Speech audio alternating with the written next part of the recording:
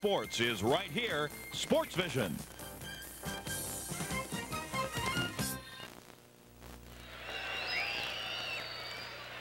From the Assembly Hall at the University of Illinois, Sports Vision presents High School Wrestling, the Illinois High School Association State Wrestling Finals. Over 10,000 people are crowding into the Assembly Hall tonight. This is WrestleMania high school style. No, the techniques and the rules are very different, but the enthusiasm is certainly the same, if not greater, both on the part of the participants and the fans. Hi, everybody. I'm Mike Lederman. Joining me is Rob Sherrill from the Chicago Sun-Times and the Grappler newspaper. Rob, this is the individual state final. There have been a few changes in this tournament for this year. That's right, Mike. As you know, for about the last five years, the uh, state tournament here has been a three-day tournament with the individual and dual team championships being wrestled on the same weekend. And we've uh, separated the two tournaments this year. It'll be a little less of an endurance contest than it used to be. The individuals are center stage this weekend, and there's been a lot of excitement. And of course, it'll be easier for the wrestlers, as you mentioned. Some of them had to have wrestled their individual matches and then competed in the team championships. This time, they'll get several days between starts. A couple of names we should look for tonight. At 112 pounds, Class AA, we've got a match between two returning state champions. Jeff Mirabella of Elgin, Andy Gardner of Springfield Lanphier. They're both undefeated. Something's got to give tonight. 135 pounds, Joey Gilbert of Andrew, trying to become the first Class AA wrestler ever to become a four-time state champion. And at 145 pounds, Sean Bormet of Providence, one of the top 10 prospects in the nation nationally at the college level, trying to win his first ever high school state title. We'll see if he does it tonight. So we've got a long agenda for you, lots of good wrestling, so stay tuned right there. We'll be back to start things off in just a minute.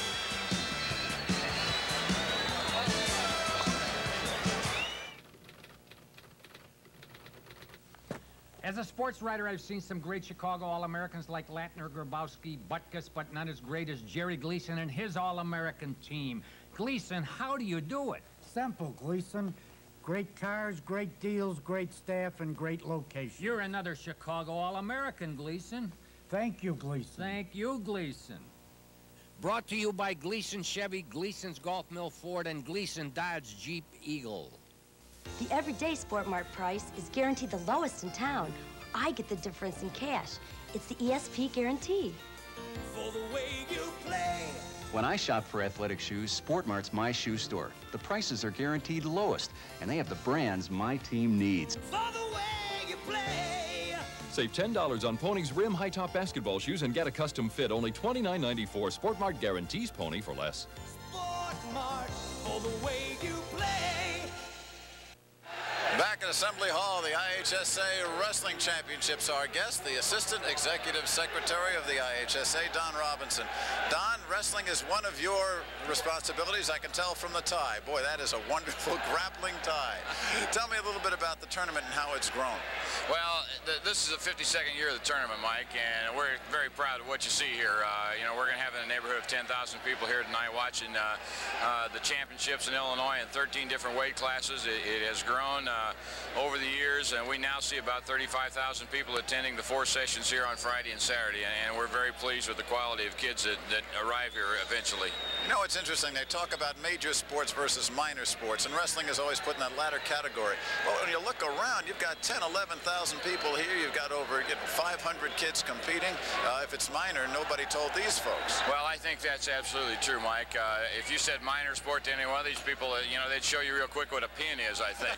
so, uh, you know, they're very enthusiastic about their sport. And I think one of the problems with wrestling, uh, amateur wrestling, is that it's, it's very often compared to, uh, you know, what we see with Hulk Hogan and, and, and, that. And there just is no comparison. It, it, what they do is not a sport. You know, what you see here is a sport, and, and it's a great sport. It takes uh, kids from 103 to 275 pounds. Don, this year you changed the tournament back to the way it was about four or five years ago, splitting up the individual and team competitions. What kind of thought went into it? Why was the decision made? And so far, how's it worked out? Well, uh, up until five years ago, two or three kids in a school could win the state championship in wrestling, and, and the committee at that time felt as though uh, we should be awarding uh, a program with more depth rather than two or three quality kids. So we developed what we call the dual team championship, and that was the true champion in Illinois, and we put that together with the individual championship so as not to detract from the good kid either. So on that basis, we put it all together and brought it down here at Champaign.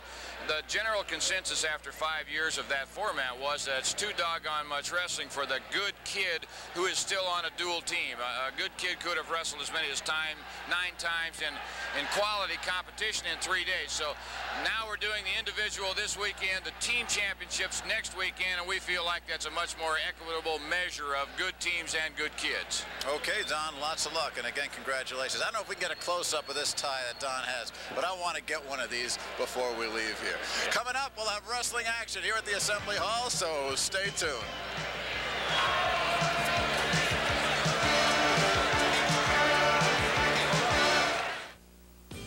What you get out of a project depends on what you put into your workshop. So get Master Mechanic power tools from True Value Hardware stores. Like their high-speed finishing sander for just $44.99. Or their one-third horsepower variable speed jigsaw for only $34.99. Or get a Master Mechanic one and three-quarter horsepower plunge router for just $65.99. And their seven and a quarter inch circular saw for only $39.99 at participating True Value Hardware stores and home centers. It's an indoor soccer shootout of champions. Northern Illinois University's 1988 Illinois Governor's Cup champions versus Indiana University's 1988 NCAA champs. It all happens Sunday, March 26th, 5 p.m. at the Odeum in Villa Park.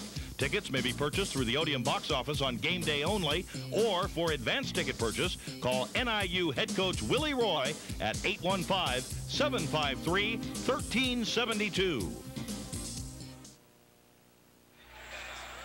This is the 52nd year of the tournament. We start at 103 pounds. In the blue, Joe Esparza.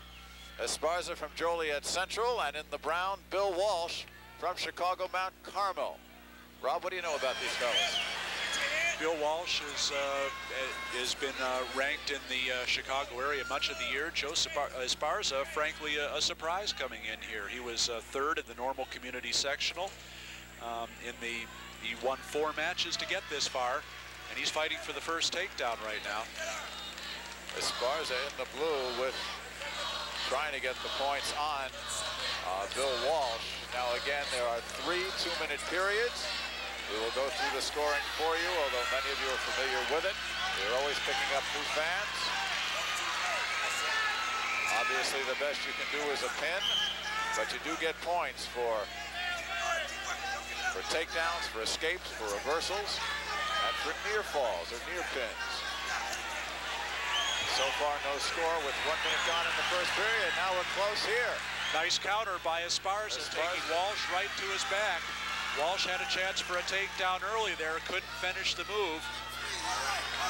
And they're awarding three points for the near fall and two points, so it uh, is a five-point lead right away for Esparza in the blue. Walsh trying to counter here with a Granby, and it looks like he has a reversal. He sure does. That signal there is uh, the reversal, the hands rotating. So it is now a 5 to 2 advantage for Joe Esparza in the blue. 20 seconds left in the first period.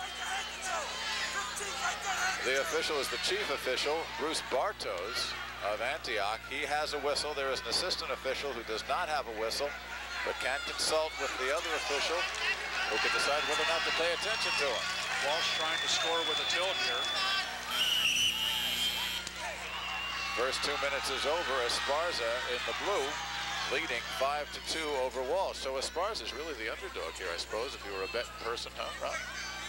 Well, he certainly is a surprise to be in the finals, but he's wrestled very well in this tournament. He's had a, had a nice spot in the bracket. There's no question he took advantage of it, and he went ahead and got those early points, took advantage of another opportunity. His coach, Mac McLaughlin. And Bartos signals there off the mat. So they bring him back to the middle.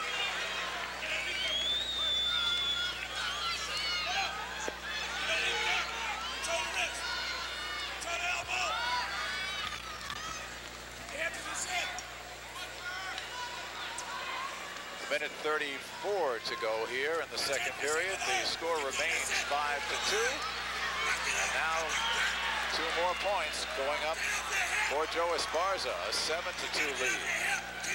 Well, Esparza coming up with another takedown. And he's just had a tremendous state tournament so far. There's no question about it.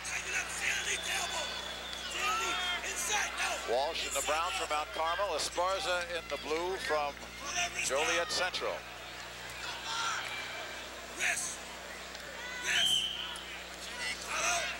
Esparza with kind of a crab ride here. Walsh trying to break the hand control of Esparza and uh, get out either for an escape or for a reversal and get some points of his own, and now looks like he's done it. No change in control yet. No points awarded yet. That's the key thing. Change of control. It is still 7 to 2 with 35 seconds to go here in the second of the three scheduled period. Walsh needs to get his head out, and he did. That's a reversal. 7 to 4. Esparza still with the three-point lead. Esparza's coach, you mentioned, Mac McLaughlin. Bill Wick, the coach of uh, the Mount Carmel Caravan. Final 10 seconds here of period two.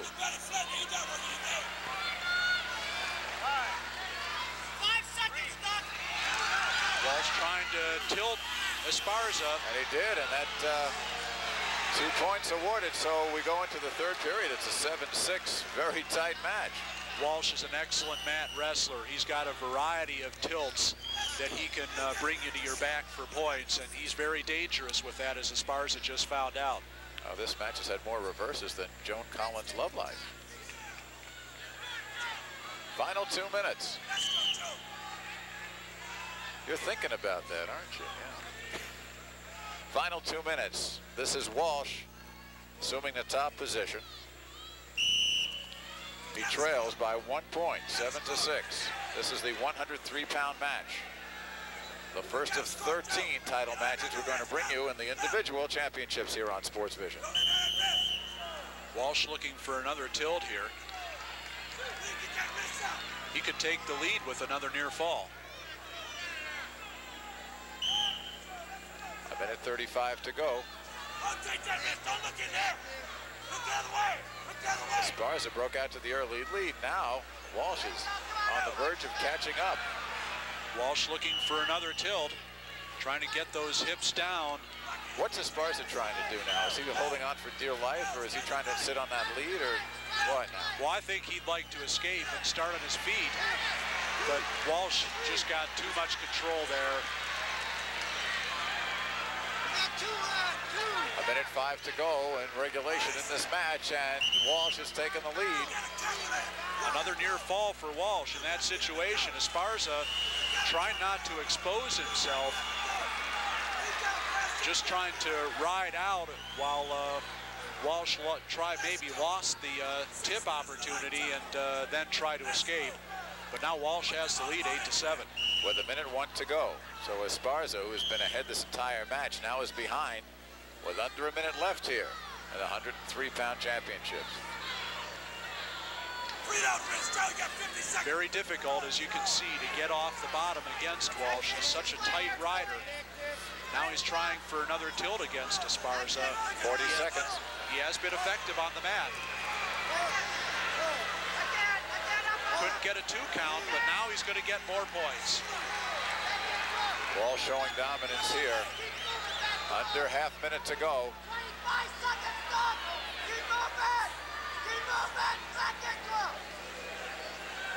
Third time that Walsh has put Esparza on his back in this match, and that's been the difference.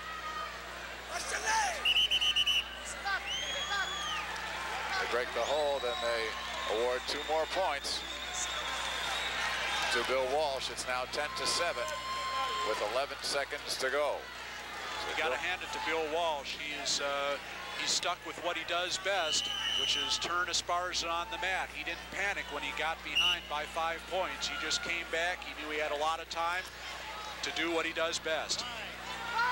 Five seconds.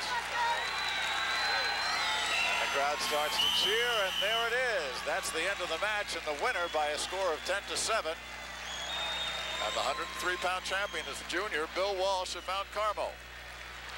Quite a rally by Walsh. Eight unanswered points to come back from that 7 to 2 deficit.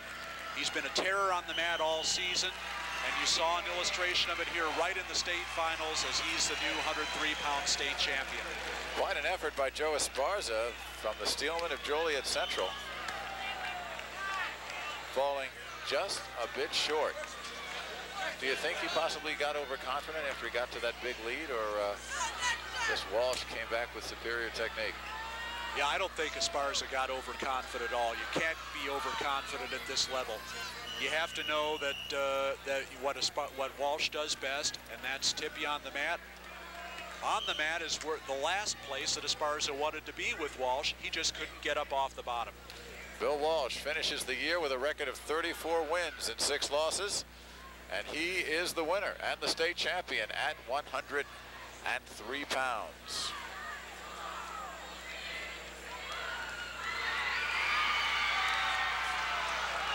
There's a good look at our winner. Now let's take a look at the Class A match between Mike Mena of Sterling Newman and Par Schoolman of Clifton Central, which is just ending. Mike Mena of Sterling Newman, just a freshman, his older brother Bob won three state titles for Sterling Newman. Now Mike, just a freshman, may be off on a string of four. He just won the state title 11 to 5 over Par Schoolman of Clifton Central. Mike Mena finishes the season 43 and 0 and the Class A champion at 103. We have both the double A, the largest schools, and the Class A championship, so we will be dropping in on both mats here. That was a good match to start off with. A lot of action for, uh, especially in the lower weights, who uh, you're really looking forward to getting off on a fast start, and that was it. Good back and forth match. A lot of action by both wrestlers. Esparza had his moments. He got up early, but uh, Walsh came back doing what he does best, and that's grinding it out on the mat, and he's the state champion. All right, let's go over to 112-pound match at Class Double A. You're looking at Jeff Mirabella and Andy Gardner. Mirabella in the maroon suit from Springfield, uh, uh, from Elgin rather, and Andy Gardner in the singlet that's uh, black with the stripe from Springfield Lanphier. Both these fellas are undefeated, so this is a battle of the Titans at 112 pounds. Mirabella, the winner in the 98 class uh, last year at state. Gardner won the 105 at state last year. So Gardner this should be a honey of a match. Gardner with the first scoring opportunity, trying for a single leg takedown at the edge of the mat, and they'll bring it back to the center. With the stripe, that is Gardner. Mirabella on top right now. Gardner third at 98. And he beat Mirabella for third. That was two years ago. Both these wrestlers among the best in the state. Mirabella has just great hip action, tremendous athletic ability. Um, some say maybe the best they've ever seen in an underclassman here in the state of Illinois.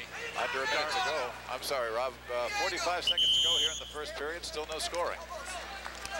There's a good look at Mirabella. He is a junior. Gardner a senior. Gardner also a tremendous record and coached by his father, Jim Gardner, who's in his corner right now. Coach for Elgin is uh, Steve Salisbury. 30 seconds to go here in the first period. And neither wrestler has scored. Mirabella tried to score with a headlock there. Gardner just has great balance to counter it. Official brings him back to the center as they carried off the boundary of the mat. 15 seconds here, first period, no scoring. And now we get the first two points, and they go to Mirabella. Mirabella with a single leg switched off to a body lock, got the takedown. Now at the end of the first period, they will flip a coin. They're doing that right now.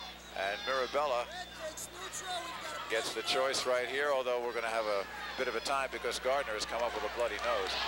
Let's talk about uh, Let's talk about let's talk about the coin flip and, the uh, choice of positions. In the second period, the official flips a coin, and the uh, it's a red and green coin that uh, designated with the two wrestlers. The wrestler whose choice comes up has the choice to either start the second period at the top, bottom, or neutral positions, or else to defer the choice to his opponent. His opponent then must choose Let's take a look here at uh, how Gardner came up with a bloody nose. Looks like Gardner just hit his head right there on the mat. Was stunned just for a second. Back to action here as uh, Mirabella gets two more points as we begin the second period. Reversal right off the bat to start the second period. Mirabella always been very aggressive. He likes to force the action.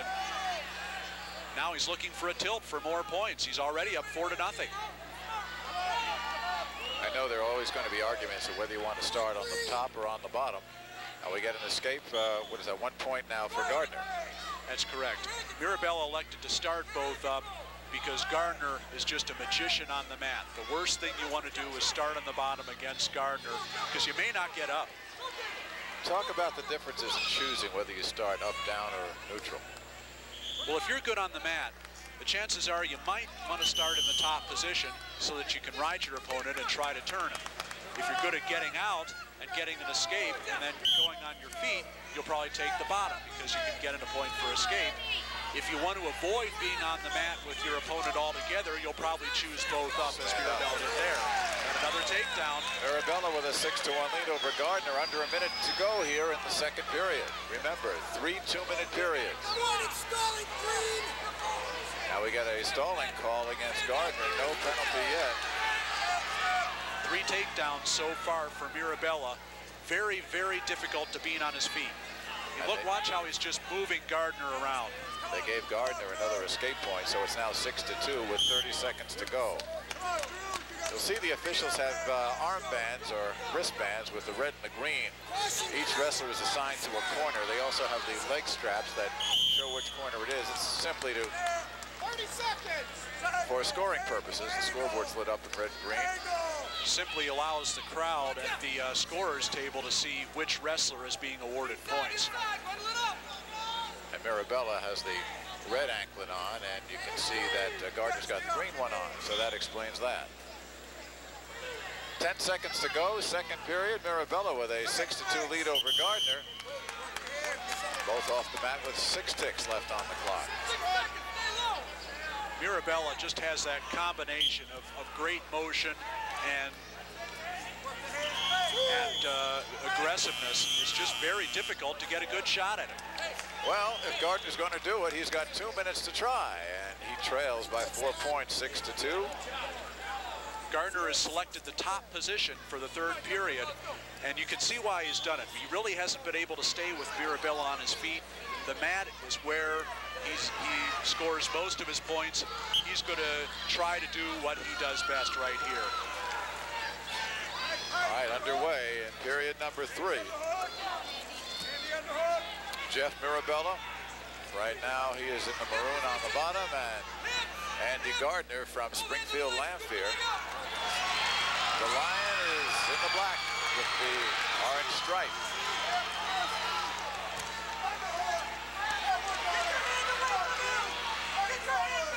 minute 30 to go now. Gardner just trying to get up to his base, now trying to stand up.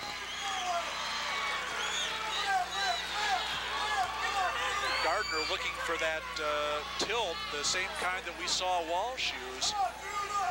A minute 15 left in the match. And the official breaks them.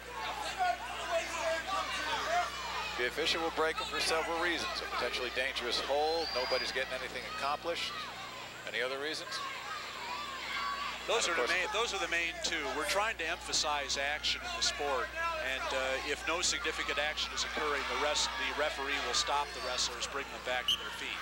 Six to two. Mirabella on the bottom with the lead. Andy Gardner trying to score in the final minute five. Remember, both these fellas are undefeated. Both are defending state champions. Only the fourth meeting, well, the fourth meeting in the last two years between defending champions. And that's only happened three times in the previous 50 years. 45 seconds to go. Six to two.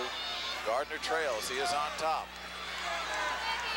Gardner trying to turn him for points. Mirabella just doing such a good job of keeping keeping his hips down, even though it doesn't, he's really not trying to escape right now. He's just trying to stay out of trouble.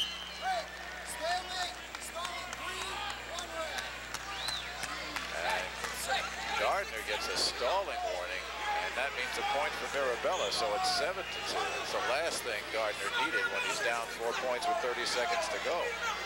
That's true, although I have to say that Mirabella really wasn't trying to escape there. I thought the stall warning might have gone the other way.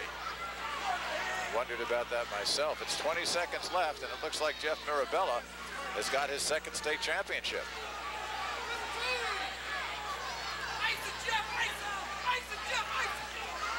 Well, all other being things, all other things being equal, the good wrestler on the feet will usually beat the good wrestler on the mat. And that's what happened here. Jeff Mirabella, the winner at 112. Let's shift over now to the Class A. We've got Jason Gonski from Kankakee and Thad Davidson from Litchfield. Jason Gonski of uh, Bishop McNamara. He's in the green leading 10 to 4 in the final seconds, and it looks like he's going to become the first state champion for McNamara in quite a few years. There we have it in Class AA. Jeff Mirabella, the winner. Mirabella from Elgin, and in Class A, Jason Gonski from Bishop McNamara of Kankakee. That Class A 112 final was also a match between unbeatens. Gonski finishes the season and his high school career 36 0 and 2 and the 112 pound state champion in class A. Wow. And Mirabella finishes his career 114 and 4 and for this season undefeated at 37 and 0. Now let's pick up the award ceremonies for the 103 pound champions. We have the first through fourth place finishers in Class A and the first through sixth place finishers in Class AA. Morzarati of Joliet Central and William Schmidt of Godfrey and Marty Williams of Mahomet-Seymour. In addition, we wish to express our heartfelt thanks to the Assembly Hall Director Wayne Hecht, the state final tournament manager Tom Flanagan, head bench official Ralph Krupke, and the dedicated men and women who volunteer their time and energy to work at the head table and mats as the scorers, public address timers, runners, Eugene Drendel of Naperville and Ron Gibson also of Naperville. They have the uh, ceremonies following uh, the matches. And of course, the winner in Class A was Mike Mena at 103. Arena to show your appreciation and in with Class your AA, for these Bill Walsh from Mount Carmel. Mena, of course, from Sterling Newman, quite a wrestling power. If I could call your attention to the awards area. The advisory committee will be presenting awards at 103 pounds. Class A awards in fourth place from Plano, David Bobee. Third place from Sandwich, Trevor Elliott. In second place from Clifton Central, Par Schoolman. And your 1989 champion from Sterling Newman with a record of 43 and 0, Mike Mena. So he's following in the family tradition, right, Rob? And now That's the correct. A awards. He's got a brilliant future ahead of him. He's going to be one of the top two or three wrestlers in this state before he's through. From John Wentz. In fourth place from Urbana, Shig Yasagnaga. In third place from Providence, New Lenox, Luke Pascal. In second place from Joliet Central, Joe Esparza. And the 1989 state champion from Mount Carmel in Chicago, the record now of 34 and 6, Bill Walsh. Bill Walsh came out. There's Bill. Just a junior. Came out second in the sectionals, but he's number one in the state. All right, we'll be back with more wrestling action in just a minute.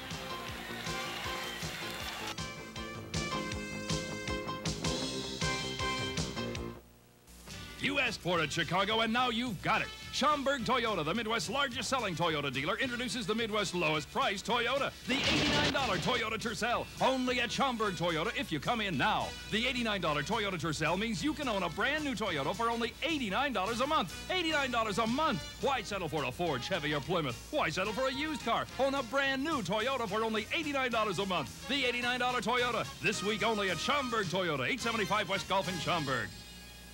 The Firestone Supreme High Crank Battery because it's better to give than to receive. This winter, starting your car is no big deal. To the line, put it to Graham. He shoots one. He scores! No time left, but Cedar Hogarth indicates a goal. Ron Hogarth says the Hawks have won the game. There's no time showing on the clock. The red light did not go on. And the Hawks are celebrating a victory. Neither has scored. We're about 30 seconds gone into the first period. And those are some kind of singlets. I like those. They are really good looking. Yeah. They're pretty, aren't they? Yeah, but let's let's not forget what we're here for. Shannon Gillespie, a 33 and 2 record on the year. It's his first time at state. Won the Fenton sectional. Meanwhile, Abby Myers, uh, bit of a surprise. He beat the number one seed, Sean Cagle here in the tournament. And uh, he is a senior, a record of 40 and 4. And they are going for the big one. Russ Baum, his coach over at Cahokia. And Elias George, Gillespie's coach at Evanston. Now we get the first. Myers couldn't finish that single leg attempt and uh, good hip pressure by Gillespie to counter for the takedown. He leads two to nothing.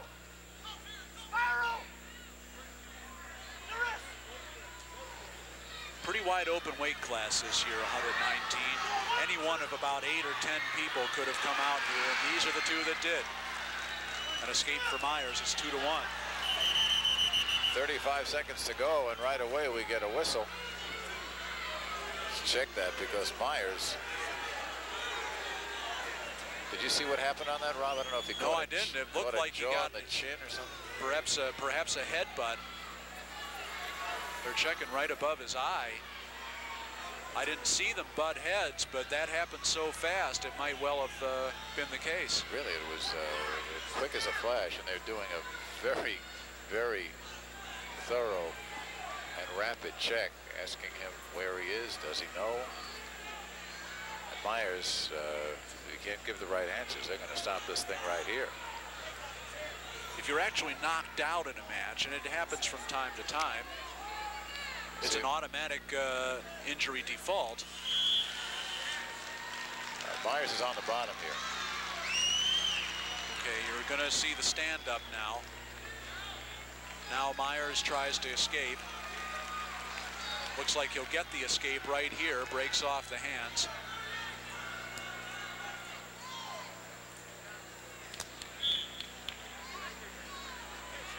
There's the escape. He seems to be all right, so we're going to continue now with 38 seconds to go here in the first period. The takedown was awarded to Gillespie, so Myers will start uh, the this exchange on the bottom. Myers trailing four to one here with 38 seconds to go in the first period. Again, the official asks Abby Myers if he's okay. Abby says yes, so we're off again. And he escapes. One point. Four to two.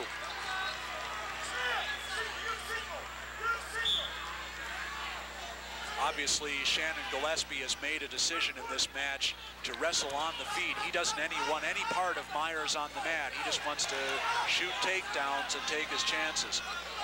Now it looks like Myers has countered this latest single leg attempt. If he can get around behind him. 10 seconds to go. You'd have a takedown. But good defense by Gillespie to avoid the score. End of the first period with Shannon Gillespie and Abby Myers. Gillespie leading four to two. They flip the coin. It comes up green. So Shannon Gillespie has the choice and they stand up.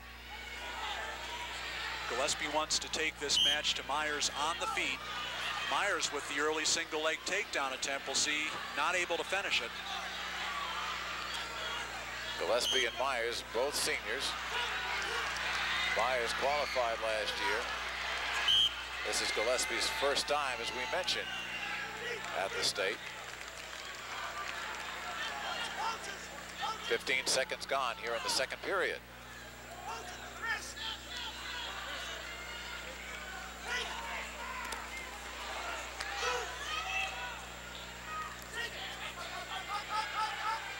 Gillespie very aggressive. Good leg attack by Gillespie. Myers obviously with a physical strength edge. We'll see if he can uh, work it to his advantage. That's Myers in the blue, Gillespie in the Wildkit Evanston orange. And Myers again looking to go around. Myers with a snap down, trying to spin behind Gillespie for the takedown. Gillespie still has the leg. One minute to go here in period number two. Now Gillespie with some pressure of his own. If he can step over, he's got a takedown. And it is a takedown.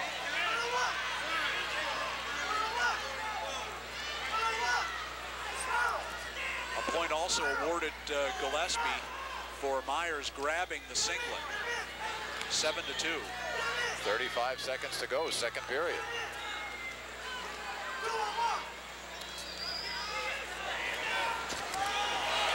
This is exactly. Look at Myers now. Myers gets the reversal. This is the kind of situation Gillespie wanted to avoid. He probably should have just let Myers go and uh, try for another scramble on the feet. But now Myers with a chance to ride out. 10 seconds to go, second period. It's a 7 to 4 lead now for Gillespie. I have a feeling we're going to see a humdinger in the final period.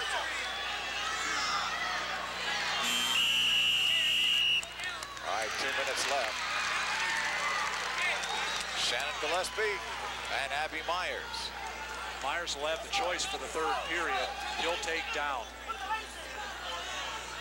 The official you see, Jim Craig of Oak Lawn. Again, the second official is there only, he does not have authority. They will consult with each other if the second official sees something that he feels is contradictory to what the main official is uh, ruling, but only the head referee can make a change. Seven to four, Gillespie in the orange. Over Abby Myers. 15 seconds gone here. This is the 119-pound class. Myers trying to break the hands of Gillespie. And Gillespie just called for stalling. No penalty on the first uh, warning. After that, he'll lose a point. Gillespie not trying to improve his position, just content with uh, trying to maintain hand control in the standing position. And that's a uh, that's stalling in the rule book. Myers trying to escape, and he does. Seven to five, two-point match with 30 seconds gone here, a minute 30 to go.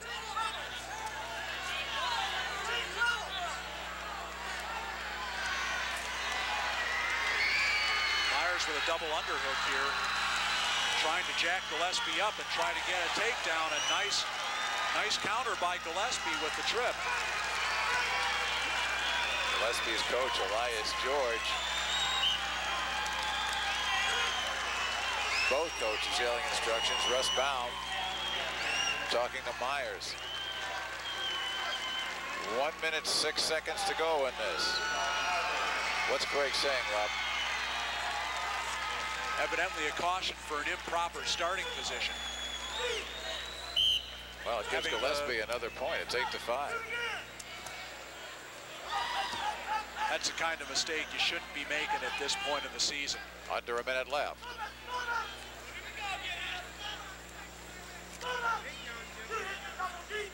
Eight to five. Gillespie holding on to that three-point lead as he's holding on to the left leg of Abby Myers. Nice change of levels by Gillespie there, trying to get the takedown. A lot of rolling around, but no change of control. 30 seconds to go. Still the three-point lead for Shannon Gillespie. Meyer. Myers had a chance for a takedown there. Could have spun behind. But Gillespie able to stand up before he could do any damage. Now Myers looking for another throw. You don't do that to Gillespie, who's experienced in the 10 styles seconds of throwing. to go, and this one is just about over because it's a 10 to 5 lead.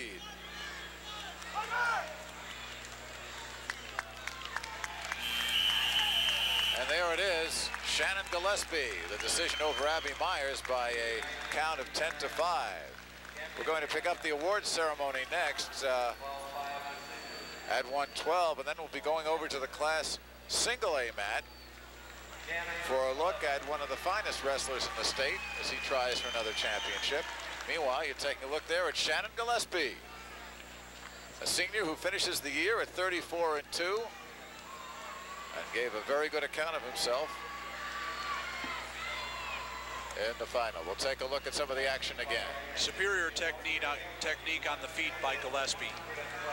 Watch Myers trying a throw here. He's just too far away. He doesn't have the, uh, the proper balance.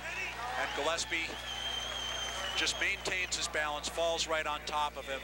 That was Myers' last chance to come from behind, and it didn't quite work. Let's go to the award ceremonies for the 112-pound classes in both A and double A. Uh, with a record of 36-0-2, Jason Gonski. Jason Gonski, the winner in Class A. Thad Davidson from Litchfield finishes second. Sun Chow. In fifth place from Mount Zion, Todd Oliver.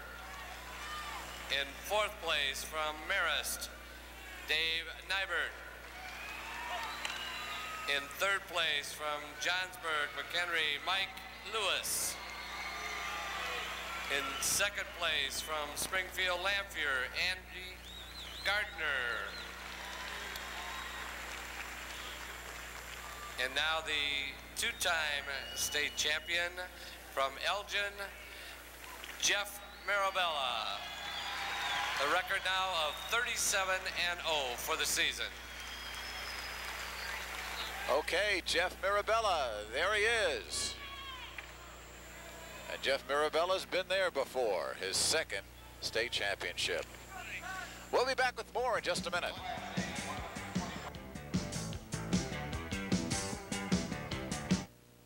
When you walk through the doors of Celozzi Ettelson Chevrolet, there are two things we always guarantee. First, selection. Choose from thousands of new Chevrolet cars and trucks ready for immediate delivery. Second is price. Whatever you choose, we'll always guarantee you the very best price, or we'll give you back the difference in cash. So for the guaranteed best selection and best price, visit Celozzi Ettelson Chevrolet in Elmhurst at York and Roosevelt Roads, where you always save more money. See this? It's official. Sports Vision is now Sports Channel. Hi, everybody. This is Gary Thorne, and this is where you're going to see exciting White Sox baseball and Sox 89 Weekly with Jeff Torborg and me. Tom Paciorek, and I may even get on once in a while. We hope you'll join us every Monday, Sox 89 Weekly, and of course, all season long, White Sox baseball. We'll see you there.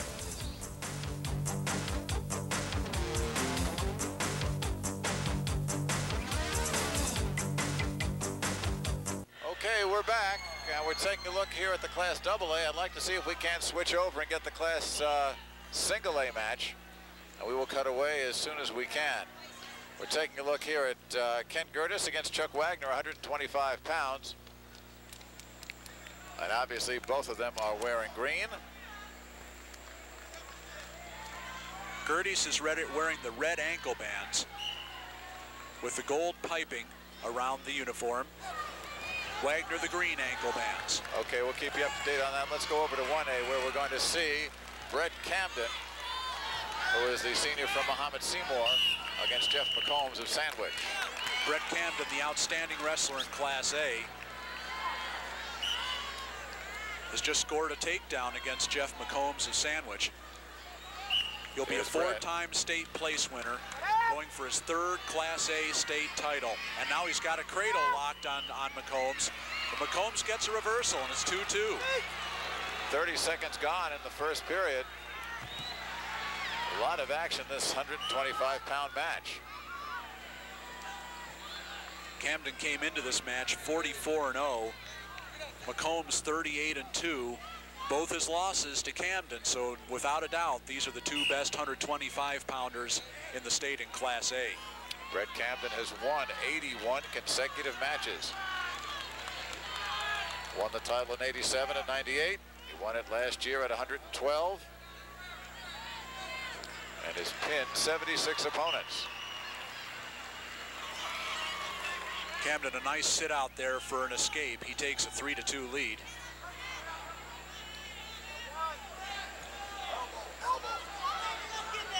Now trying to spin behind.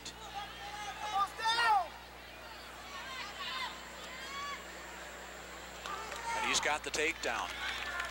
Four to two the score.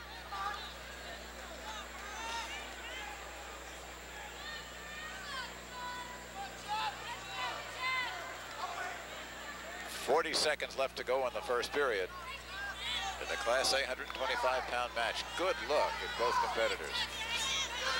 That was a reversal given by Cam for Camden. That gave him a 4 to 2 lead. The escape for McCombs made it 4 3.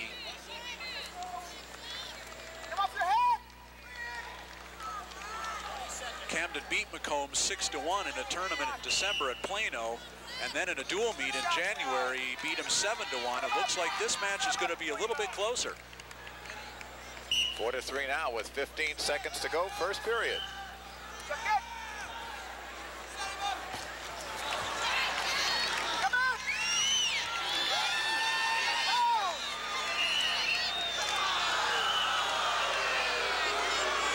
No points there. Great under by McCombs. That would be two points against anybody in the state except for Brett Camden. Just a great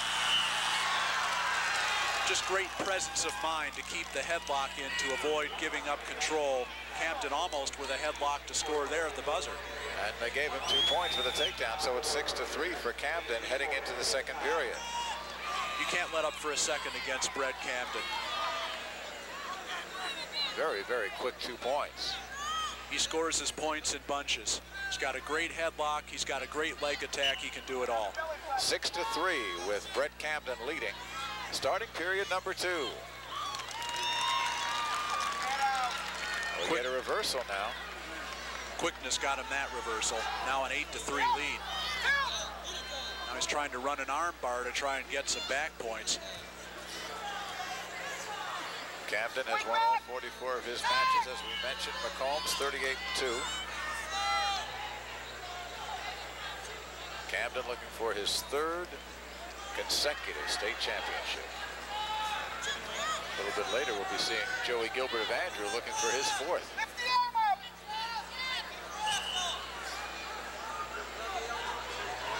Boy, Gilbert's becoming a legend in his own home world, huh? Well, that's for sure. A lot of people came down to watch him, and uh, he's hoping he'll send them all home happy. 8 to 3 the score remains with one minute gone here in the second period the 125 pound class A match. There is McCombs stalemate called there. Camden looking very very strong on the top as Lon Garish the uh, sandwich coach looks on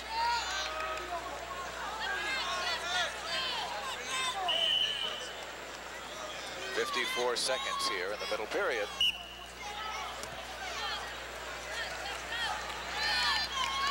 McCombs trying to sit out, trying to get an escape or a reversal. Nothing doing there. Camden retains control.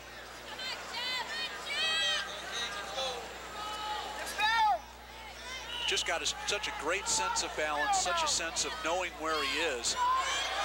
Grant, McCombs looking for a Granby, maybe to turn him over. But look at that hip pressure by Camden.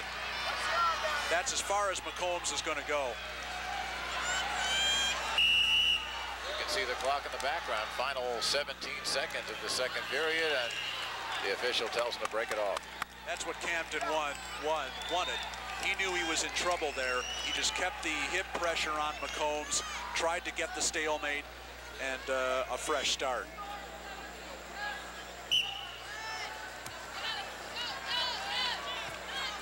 At that quickness. That sit out by McCombs would work against just about anybody else, but Camden just followed him all the way around. Five seconds left in period number two.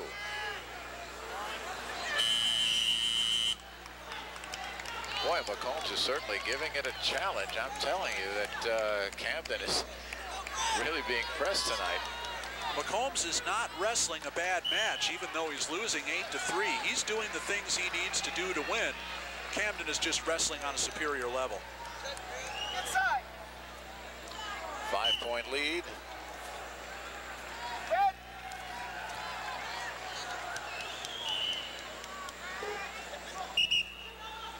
Looks like Camden may uh, have gotten a bloody nose there. Yeah, they'll hold off now and they'll check him.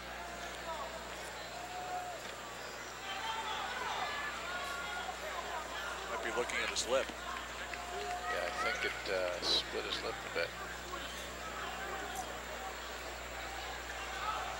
Just the start of the third period, Camden with a five-point lead, eight to three, in the 125-pound class. There is a certain amount of injury time allowed, Rob. Why don't you talk about that a bit? You're allowed a cumulative two minutes of injury time in a match. The exception is if there is bleeding involved, there is no injury time. You're allowed, you know, within reason, an unlimited amount of injury time if the, it's a, it's a uh, bleeding injury. Camden on top, allowing the escape. And talk about that strategy. You just give your opponent a point, but obviously there's a method to the to the madness. You got to go with what you do best and try to neutralize what your opponent does best. In Camden's case, it's wrestling on the feet and trying for takedowns. He doesn't want to get on the mat with McCombs any more than he has to risk giving up rever a reversal or for two points or, you know, maybe even more than that. He's just, uh, you know, if he wants to give up points, he'll give up a one-point escape, and that'll be it. He'll go for a takedown and maybe two and more. Knowing the one point will not hurt him. Absolutely. Because he did run into problems in that second period. Duck under maybe for a takedown here. Good defense by McCombs with the crotch lift. Final minute now of the third period. And they award two points. To take down for McCombs his first of the match. His second Two-point match. match. Eight to six. Well, we saw that last year in state where uh, I forget who, but just uh, allowed his opponent the escape and ended up losing the match by one point. You know, that happens. And from that point, if, from that standpoint, it looks like maybe it's a bad strategy. But if he hadn't done that, it, the chances are he might have lost the match by more than one point, simply because instead of giving up the smart one point, he might have given up a dumb two or three points. Well, over Class AA, Kent Gerties has won. From uh, Providence, New Lenox. Meanwhile, 20 seconds here. It's still a two-point match over at Class A. Jeff McCombs is really trying everything now. It's crunch time with 10 seconds left.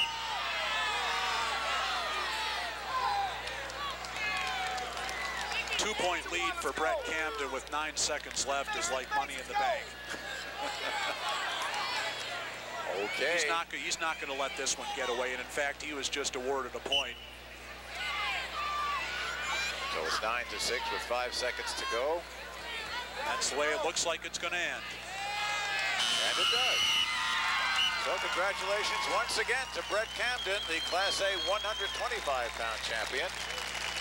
And Kent Gerties, who was upset here last year, gets his championship at 125 in 1989 over Chuck Wagner of Oak Lawn. Camden, a three-time state champion.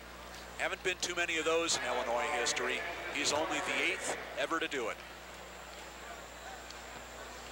And they go in and sign the book. Next up, the award ceremonies at Class A and Class AA at 119 pounds. The respective uh, winners will be announced as well as the runners-up. Let's pick up the ceremony. In third place from Sandwich, Christopher, Christopher Barneman. In second place from Sterling Newman, Daryl Grennan. And your 1989 champion from Harvard with a record of 34 and 4, Todd Van Loo. Todd Van Loo of Harvard. Rated number one Now all award season at 119. double A at 119, He's the state champion in Class A. Sixth place, Mark Wilson. Over to double A now. In fifth place from Glenbard South, Mike Dussel. In fourth place from Johnsburg, Sean Cagle. In third place from Geneseo Darnell, Darren Cowan. In second place from Cahokia, Abby Myers. The 1989 champion at 119 from Evanston, Shannon Gillespie. Shannon Gillespie, the winner with that 10 to 5 decision over Abby Myers. There is one happy young man. Back in a minute with more IHSA Wrestling.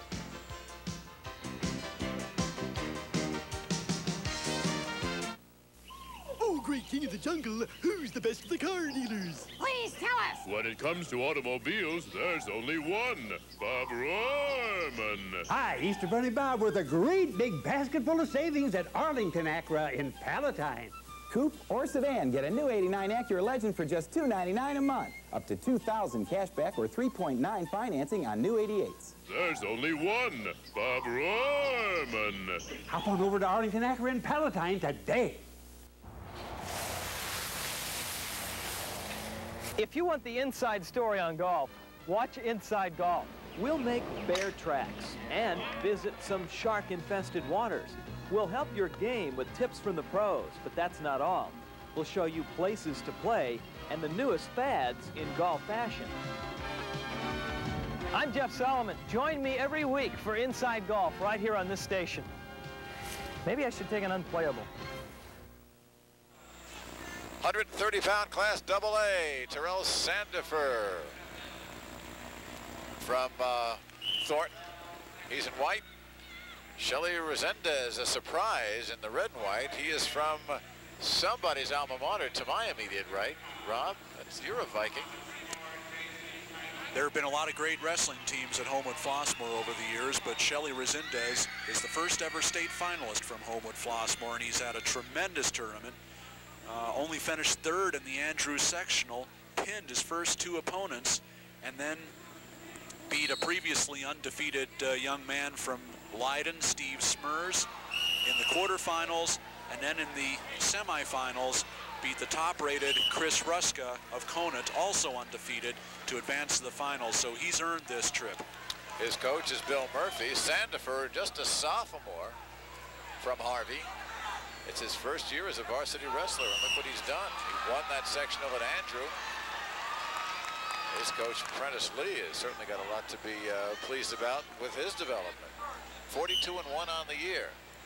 Both these wrestlers, not only from the Andrews sectional, um, Sandifer was the champion of the Andrews sectional, while Resendez uh, finished third, but both from the same conference, the SICA East. And uh, they've met twice this year. Sandifer has won at both. 50 seconds left here in the first period, still no scoring.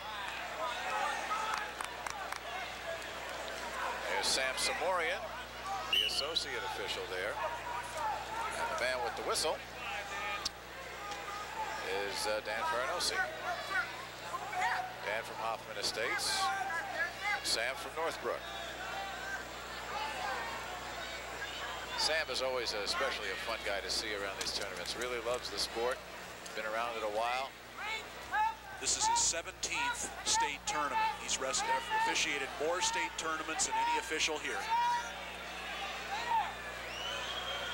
15 seconds to go, still no scoring. This, the 130-pound match, and coming up after this, we're going to get a look at Joey Gilbert from Andrew. First good uh, scoring chance of the match to Resendez, unable to keep Sandifer on. And you can tell that both of these wrestlers are familiar with each other and have seen each other before because they're both a little bit tentative. Neither one wants to give each other much of an opening. No scoring. Beautiful hip toss by Resendez, but couldn't quite beat the buzzer. So we go through the first two minutes without a score. Sandifer in white, Resendez in the red. Sandifer from Thornton and Resendez from Homewood Flossmoor. Resendez won the toss. He elected to defer the choice, which means he'll get the choice to start the third period. Sandifer chose bottom. He st stood up. He's going to try for an escape here. Does he have it? Certainly a loss of control, and there's an escape. One to nothing. 15 seconds gone in the second period. Terrell Sandifer and Shelly Resendez.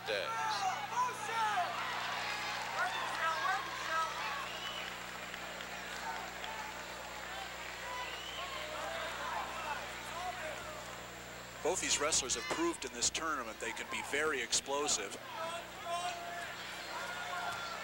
Well, Resendez has lost twice to Sandifer. You've seen these fellas before. Does he change his strategy or is he basically doing the same thing he always does?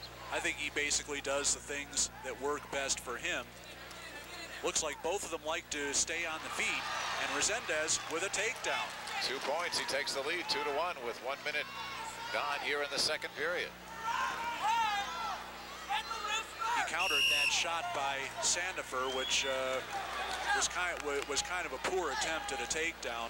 Just sort of uh, sort of shucked him by and came out on top. And now he leads two to one.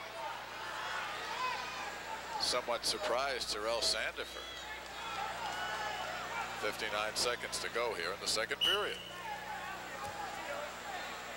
Well, the official Farinosi has warned both for stalling already.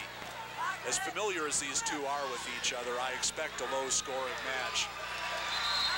Every point is going to be important. Resendez trying to make a move here. Resendez looking for a tilt. Lost the hand control, and Sandifer gets the reversal. And a 3 to 2 lead with 30 seconds to go. Second period. Sandifer a tough thrower, but also very, also very strong on top. He came from behind in the semifinals against Sean Hill of Fenger, was losing nine to six with less than 30 seconds to go, and uh, turned him to his back for three points to tie the score, and then for two points in the last five seconds to win the match. So he can do it on the mat too, as well as on the feet. 15 seconds left here in period two. Sandifer in the white with a 3 to 2 lead over Resendez in the red.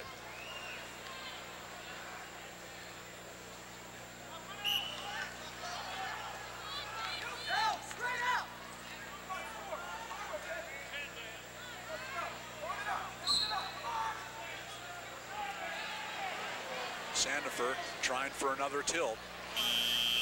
As time runs out. 3 to 2 the score. Sandifer leading after the first four minutes. Resendez with the th with the choice for the third period. He'll choose down, try to uh, get an escape to tie it, or maybe a reversal to go ahead.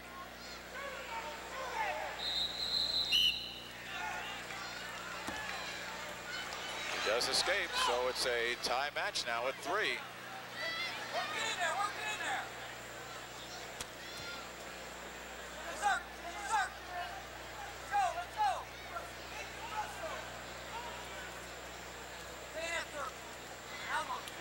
With a score of three of three, it's a real cat and mouse game now. One takedown might well win it. 30 seconds gone here in the third period. And both wrestlers will come to the center of the mat.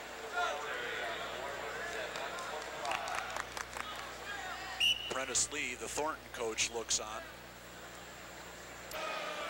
As time went in, and Another Resendez headbutt. Looks like both of the wrestlers are a little bit dazed. If we can take a look at that uh, slow-mo on the replay, you're going to see they they both go right at each other and collide. It's forehead to forehead. Both trying to shoot low. Resendez is still down. See Sandifer and Lee talking. 124 left to go on this one. The uh, match is tied at three apiece.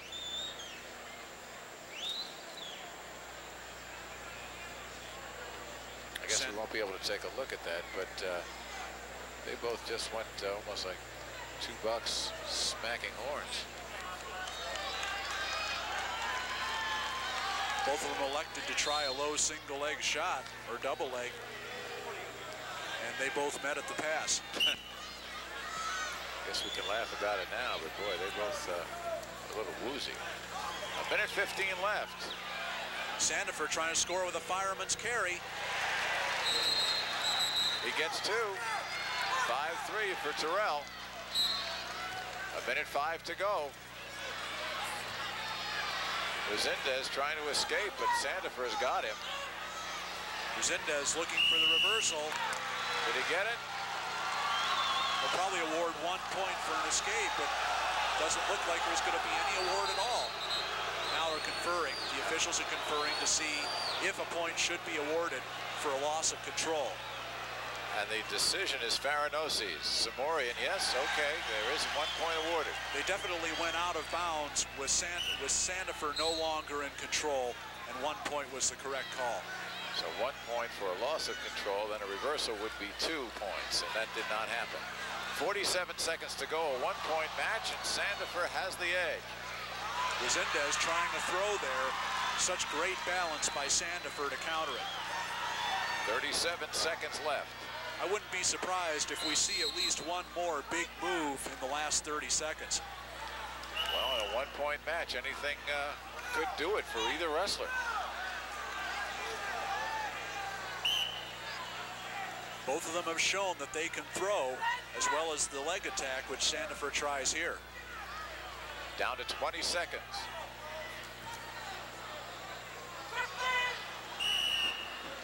Off the mat they go with 15 seconds.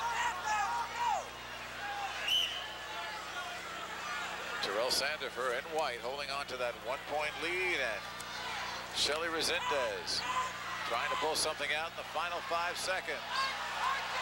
Resendez got to try something, anything. And that's it. And that's it. So by the narrowest of margins, Terrell Sandifer, the sophomore from Harvey, is the state champion. Five points to four at 130 pounds. Sandifer runs his record to 43 and one. And Resendez ends up 40 wins, four defeats, three of them at the hands of Terrell Sandifer. That was a real chess match between two wrestlers with a great deal of respect for each other, but who have seen each other a couple of times and know what the other one likes to do. And sometimes you wind up with a low-scoring match, and even though it was a low-scoring match, a five to four decision, it was exciting. Well, Shelly Resendez was not going to stay still just because Sandifer had beaten him a couple of times. He really gave it a good shot. Taking a look now at the 1A, which is finishing up. Jason Heinhold from Mahomet-Seymour against Mike Putz from Puyatone. Putz just got an escape, and he now trails 12 to 11. It's been a wild match. Heinold. Heinold in the orange. Just got a takedown with about 35 seconds left to uh, take a, that 12 to 10 lead. And we got the final seconds ticking down. It looks like it's going to end up 12-11 in favor of Jason Heinold. Jason Heinhold from Mahomet Senior, uh, Seymour finishes up as the Class A champion at 130. Second state champion of the night for Mahomet-Seymour. They've got three more finalists to go. They could walk out of here with five state champions. That's never happened in one single state tournament, so they could be on a record pace tonight. Of course, they had Brett Camden, the winner earlier. And now Heinhold, again, a one-point margin. Something in that weight classification that I guess tonight builds for close matches. Now we're going over to the awards ceremony in the 125-pound class in A and double A. Third place, Eddie Davis, Chicago Luther South.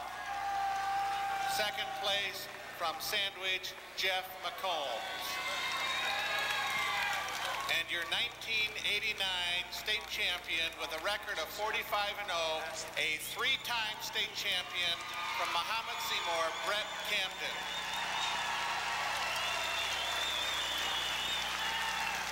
The awards in double A at 125. In sixth place from LaSalle, Peru, Rob Maggio. In fifth place from Blue Island, Eisenhower, Ray Brokaw. About the In fourth place from Marian, Chicago Heights, John St. Clair. In third place from Granite City, Brent Davis.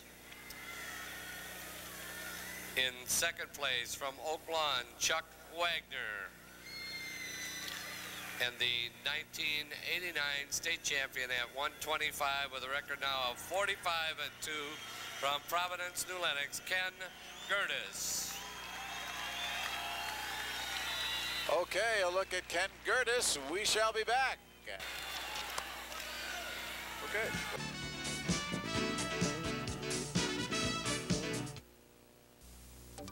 Every job needs its own special tool. But now there's a tool that can help you do nearly every job. The Hardware Week Circular from True Value Hardware Stores, where the Black & Decker 11-piece bullet drill bit set with pilot point design is just $11.49. This entryway motion sensing light control from Heath Zenith for $19.99 covers a 4,000 square foot area. And this Master Mechanic 20-inch plastic toolbox is $13.99 at participating True Value Hardware stores and home centers.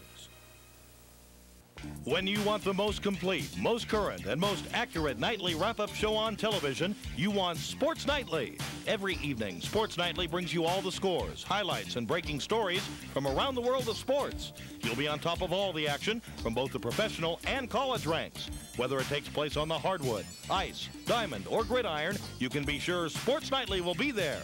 So watch Sports Nightly every night right here for expert coverage you can't afford to miss. All right, here's the man everybody expects to be the man of the hour, Joey Gilbert in the black from Andrew. His opponent, Stan Valley from Notre Dame of Niles. And Joey Gilbert, we could probably recite six minutes worth of credentials for him. Right now, he leads three to nothing. The match is barely eight seconds old. But Joey Gilbert, 66 pins, has lost only one match in his career. He has won 160 and he is looking for his fourth consecutive state title. Only the second young man in the history of this tournament to do that. and the first in Class AA. Gilbert already with a three to nothing lead here against Valley. And we have to say a little bit about the match that occurred this afternoon between Gilbert, the defending state champion at 132 last year, and Ryan Schaefer of Sterling, who won it at 126. It was one of those magic moments in the state tournament where everything just stopped while the match between Gilbert and Schaefer went on. Schaefer took Gilbert down right away and sort of woke him up a little bit. Gilbert came back, got a pin in the first period at a minute 43 and received a standing ovation.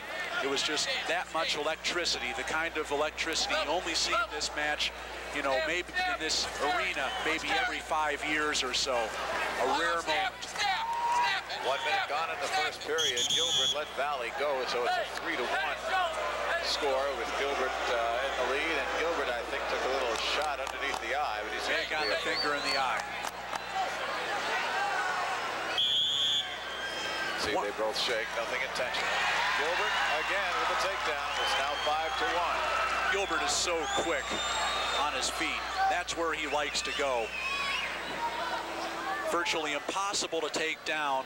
And I've never seen a wrestler as focused as Joey Gilbert is.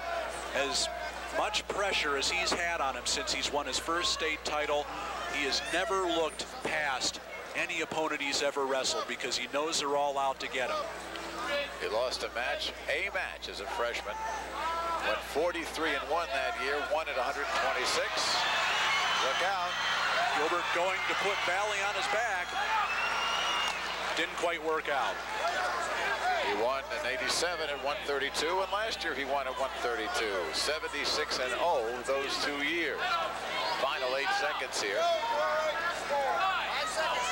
Gilbert's coach, Tom Leahy. Valley, uh, first time qualifier. Certainly we don't want to overlook Stan. He won the Fenton sectional. His coach is uh, Augie Genovese. Valley's had an excellent year, but there's only one thing to say, and he's just in the wrong weight class. A lot of excellent wrestlers have gone either to 130 or to 140 to avoid Gilbert and Schaefer. Again, he lets him go. Gilbert lets Valley go. It's five to two. Start of the second period.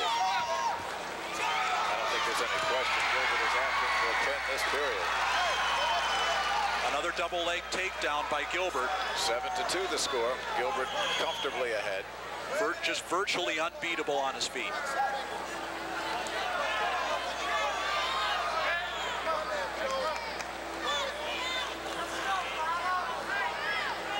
30 seconds gone in the second period. Joey Gilbert from Andrew High School, Stan Valley. Ed Green from Niles, Notre Dame.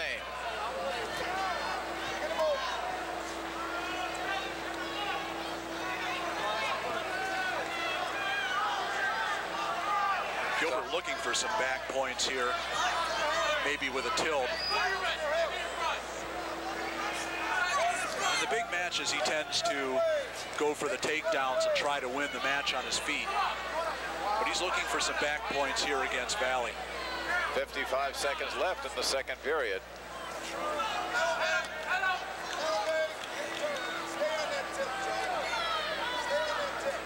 Leahy telling him to continue trying for that tilt. Stay on that tip, he's telling him. Valley obviously trying to work out of it. 30 seconds left here. He may get a stalling call on Valley here. He's really not tried to improve his position. Now he's trying to base up. 15 seconds left.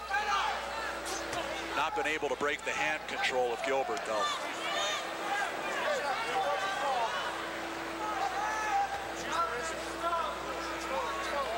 Final three seconds, not much happening here. And they'll go to period three with a 7-2 lead for Gilbert. And a less than spectacular match so far for Joey. He's getting it done.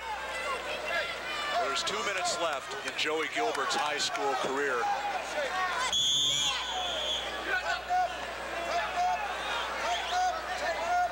Here's a replay of a double leg takedown by Gilbert. Look at this quickness. No way to counter this. Look at the power. It just takes him straight backwards. We're away, uh, Joey Gilbert got another takedown. It's 9 to 2 with 15 seconds gone here in the third period. Gilbert elected to start the third period, both up, and that's a smart thing to do. Valley hasn't shown he's been able to stay with Gilbert on his feet at all. Gilbert has four takedowns now, and he just got another.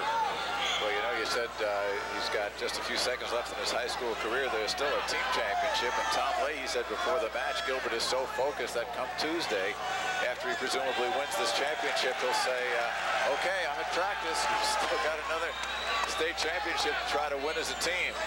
Well, that's the kind of guy he is. He would like nothing more than to see his team win a state title as well as himself. One minute to go. Nine to three, Gilbert with the lead. We also understand he will be going to a Big Ten school to wrestle.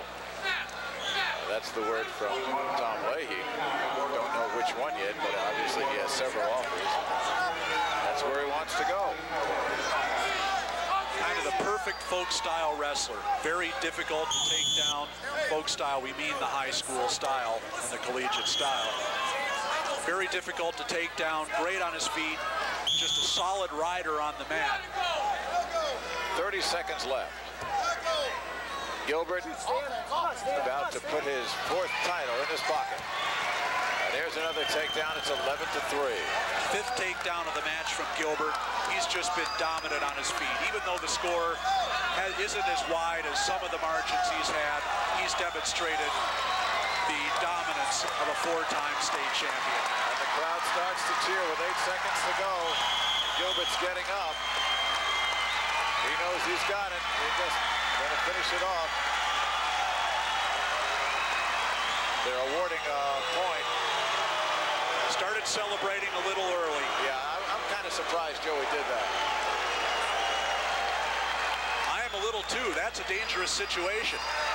Yeah, either you can get caught if you, if you do uh, that. yeah, somebody with with his breeding, I'm very surprised. But then after all this, that's it.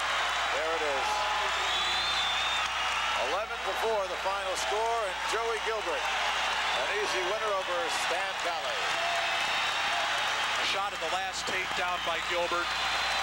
Let's come Double back leg shot. quickly. Let's come back and take a look at what's going on here, if we can. A victory ride by Gilbert on the shoulders of his coach, Tom Leahy.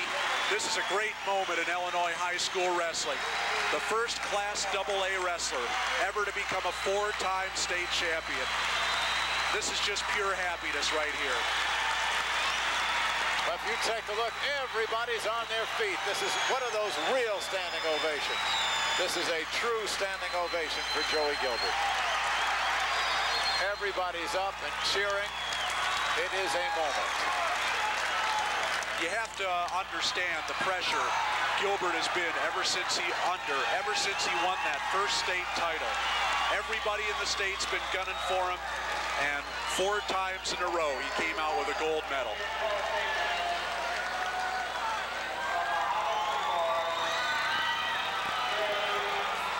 Meanwhile, over at the Class A men, let's not forget James Heinhold, brother of Jason, has won another championship for the Heinhold family and for Mahomet-Seymour. That's three straight. James, the identical twin brother of Jason Heinold, the 130-pound champion, wins a 7-2 decision over Mark Edwards of Caneland. That's three for three in the finals for Mahomet-Seymour. They've got three state champions. Two more to go. Aaron Fancher at 152 and Roy Vanderveer at 171. No team has ever had five individual champions in the history of the Illinois High School Association state tournament. We may be seeing history. As Joey Gilbert walks off, let's pick up the award ceremonies for the 135, 130-pound classes. And your 1989 state champion from Mahomet-Seymour with a record of 41 and 3, Jason Heinold. There's Jason, and we're going to see twin brother James up there in a few minutes. Now the award winners at 130 in double A. In sixth place from Bolingbrook, Charles Jacobs. In fifth place from Providence, New Lenox, Doug Bradley. In fourth place from Conant, Chris Ruska. In third place from Chicago Fenger, Sean Hill. In second place from Homewood Flossmoor, Shelly Resendez. And the 1989 state champion at 130 pounds with a record now 43 and 1 from Thornton, Terrell Sandifer. There's Terrell Sandifer by a one-point margin. He is champion at 130 pounds. Back in a minute.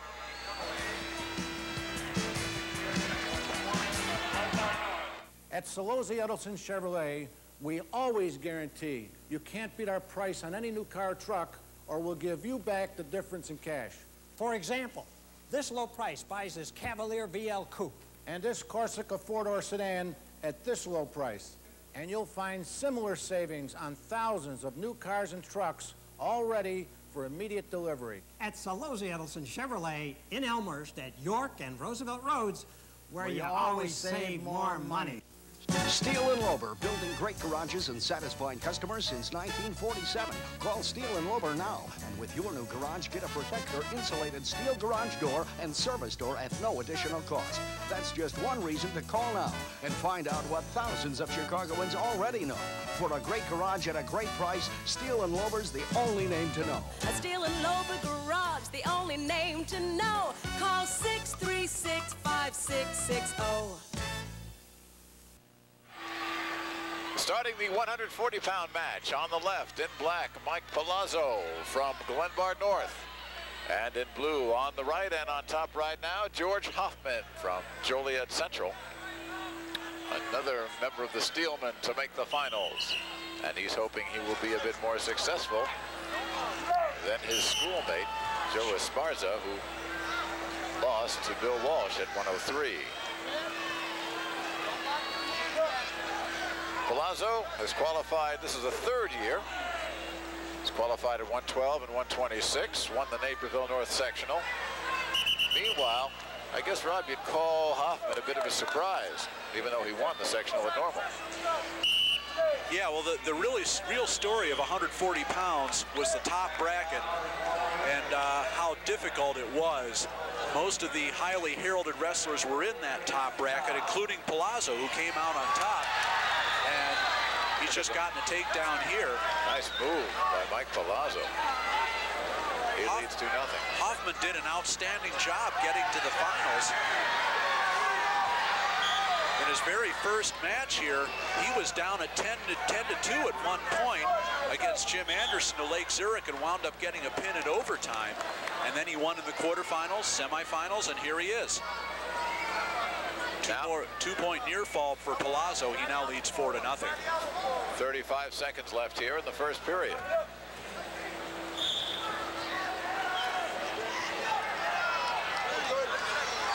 This is a rematch of a dual meet match in December. Palazzo beat Hoffman 16 to 6 at that time, and he's got the upper hand again so far.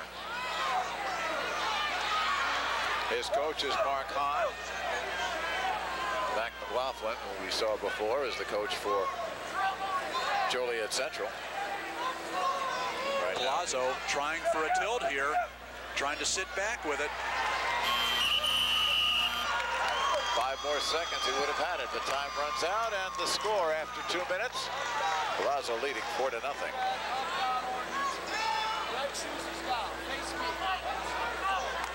Okay, right here, Palazzo with a duck under changes his level, gets the high crotch lift, and takes Hoffman right to the back.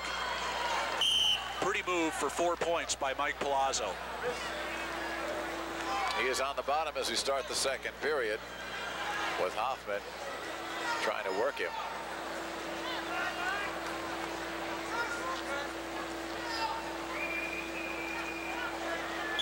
The important thing to notice, especially for people tuning into high school or college wrestling for the first time, is the strictness with which holds are allowed and disallowed. Rob, you want to talk a bit about the holds that are not permitted, moving against a joint and causing pain? And That's right. Holds holds that uh, take a joint or a body limb outside the normal range of motion are either illegal or potentially dangerous. And the uh, officials are responsible for the safety of both participants, and they watch that very closely. You can't throw a hammerlock on somebody and put his hand up against his forehead. Five nothing now, another point for Palazzo. Palazzo got an escape there. Hoffman trying to spin behind for a takedown here.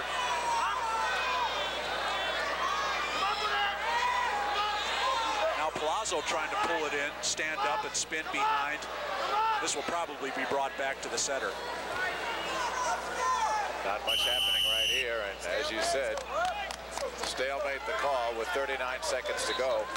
Palazzo still shutting out his opponent, five to nothing.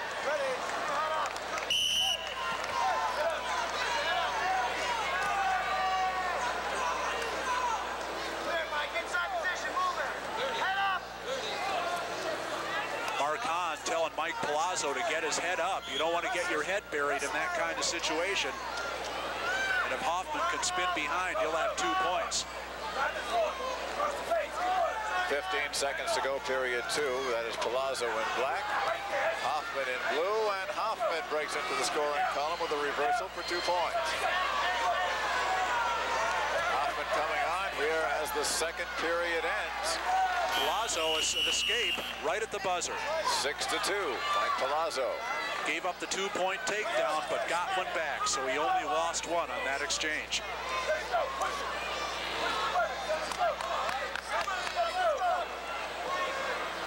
The lead official, Gene Johnston from Flossmoor. Hoffman, as you can see, gets the takedown. Palazzo will just stand up.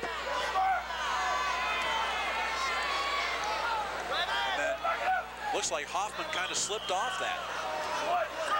Back to live action now, a minute 45 to go. The score remains 6 to 2, Palazzo. And again, a stalemate call from Gene Johnston.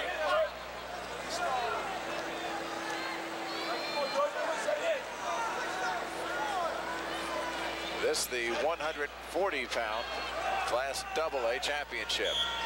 Good look at Palazzo. Escape for Hoffman. Cuts the margin to six to three. Kind of a scramble here at the middle. Both wrestlers had chances to score right there. Neither could take advantage as they go off the bat. Down a minute 23 left in this one.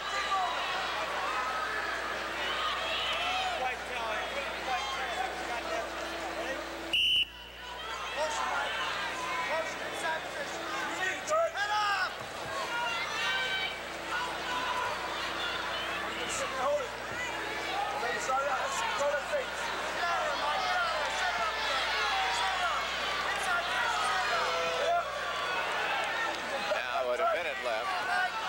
And Palazzo remaining control.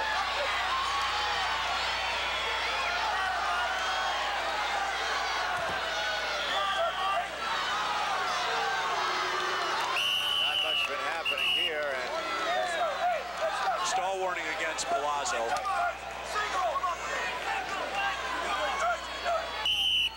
as if on cue, the official said, uh-uh, let's wrestle.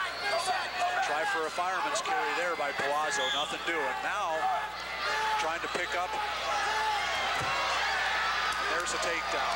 It is 33 seconds to go. The lead is now five points at eight to three. Mike Palazzo, his third time qualifying, is going to be a state champion. 20 seconds left. That was a character takedown. Warned for stalling. Might have taken a silly shot. He made sure he scored some points. Hoffman trying with seconds ticking away, but it Won't be will enough time. Nope, it's Palazzo's match. There it is. And Mike Palazzo is the new IHSA Class AA champion at 140 pounds.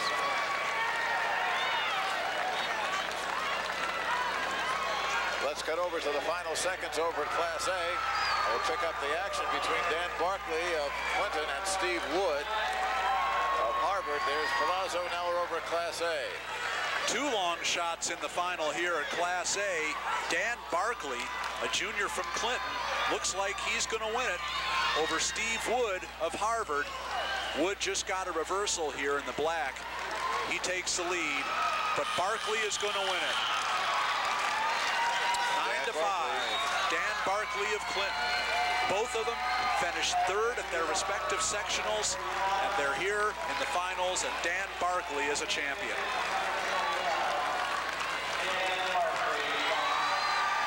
Take a look at the final takedown here in Class 2A. Looked like Palazzo was going to get trapped underneath again. But he picked up that high crotch double. Now he's going to stand up with it.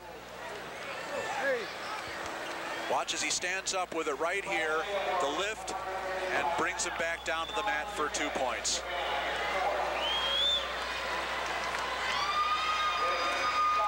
Aaron Rockridge in third. Let's go over to the Place ceremonies award, for the 135 pound classes. And your 1989 champion from Mahomet-Seymour with a record of 41 and 4, James Heinhold. James and Jason Heinhold are only the second set of brothers to win state championships in the same year. The previous set of brother champions was the Murphys from Normal University High in 1974.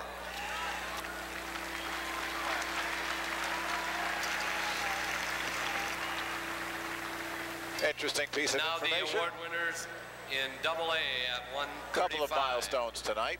In sixth place from Rock Island, Mario Visi.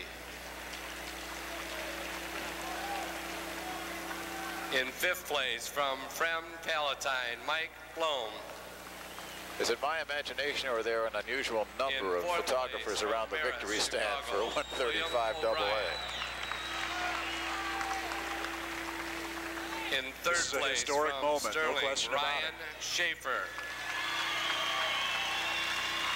Everything from mini camps In to second brownies. place from Notre Dame, trained on Joey Niles, Gilbert. Dan Valley. And the 1989 and now four-time state champion from Andrew, Joey Gilbert. What a scene. He has a record What an now of accomplishment. 42 and 0 for the season. We'll be back.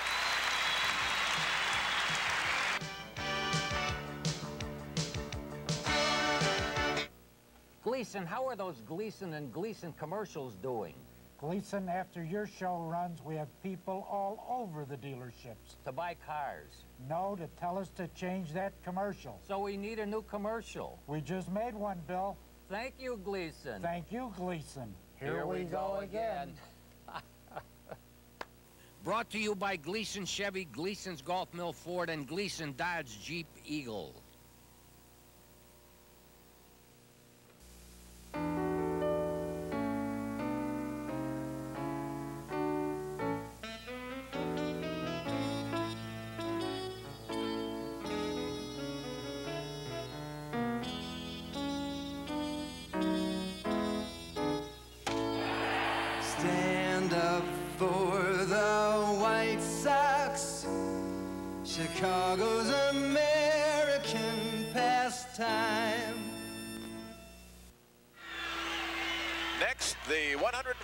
145-pound Class AA We will look at another named wrestler here in uh, IHSA competition, Sean Bormet. He is in the green.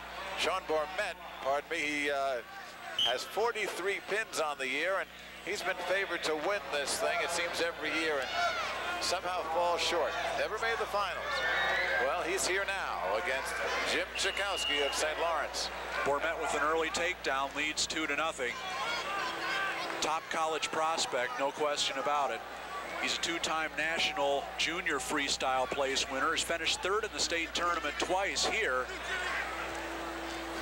He's probably the best known and most accomplished non-champion the state has had.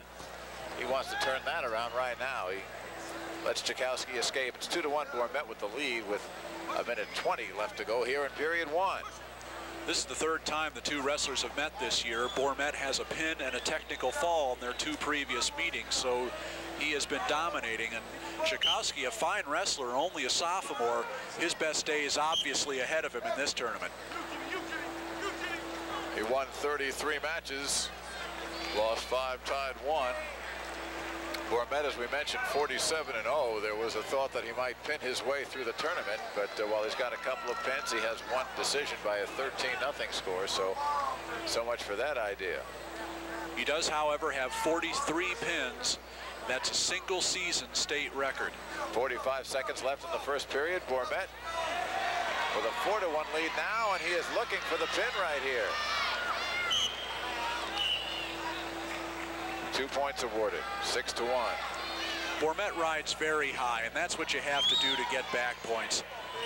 He just had the bar arm and the half Nelson in there on Jim Chakowski and got two a two-point near fall as they go off the mat.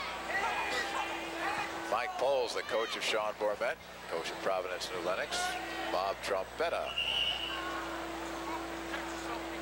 the Vikings coach at St. Lawrence. Under 30 seconds to go here in the first period. This is the 145-pound double-A final. Sean Bormet all over Jim Chakowski. Bormet loves that. That sort of reverse chicken wing. Looks like he may. Trompetta yelling for Chakowski to escape. Get one, get one. Didn't quite get it, so at the end of one period, it's a six to one lead for Sean Bormet. That's probably a two-point reversal against anybody except Sean Bormet. Great hip pressure.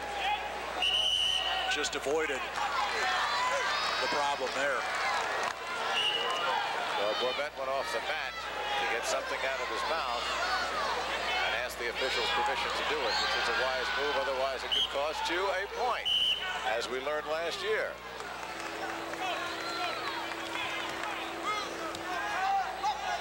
Bormet starting the second period on top. I think he wants to go for this pin and to kind of finish his individual high school career on top. Providence, of course, will be going in the uh, individual, in, in, the team state uh, coming up. But uh, I think Providence, Bormet would like to finish this season on a high. Lets him go, that's an escape, and now it's six to two. A minute 20 to go here in period number two. And Bormet getting a takedown. Lightning quick. Lets him go again, so it'll be 8 to 3. Just a clinic being put on by Bormet here. Just superior strength, athletic ability, balance. Look how he's moving Chakowski around. That's the thing when you face a great wrestler like this. It's, it's so difficult to get a good shot at it. Under a minute to go here in the second period. Bormet with the five-point lead, but has shown total dominance so far.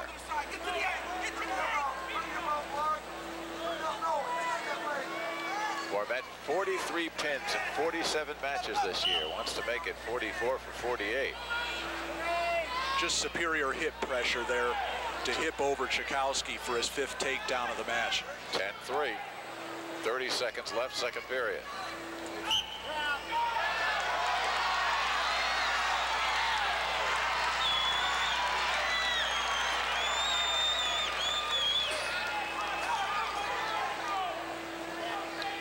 Twenty-six seconds left, and Bormet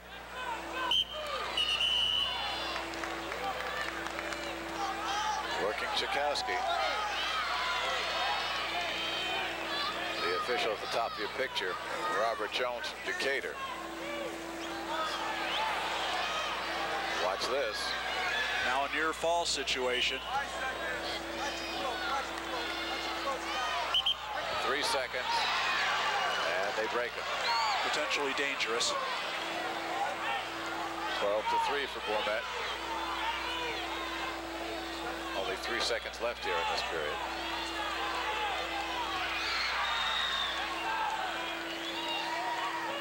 What What's the conference, you think? The officials are talking. Question probably whether it should be a two or a three-point near fall. There was certainly five seconds worth of exposure. Just the question of when the uh, hold became potentially dangerous. Okay, talk more about what you mean by exposure, because this is a key point that is often hard to describe. Well, when the uh, criteria for a near fall is met, which means that as a Bormet gets a reversal, he now leads 14 to 3 and now lets him up. Uh, it means that the that the, the shoulders, the plane of the shoulders, have crossed a 45 degree angle to the mat.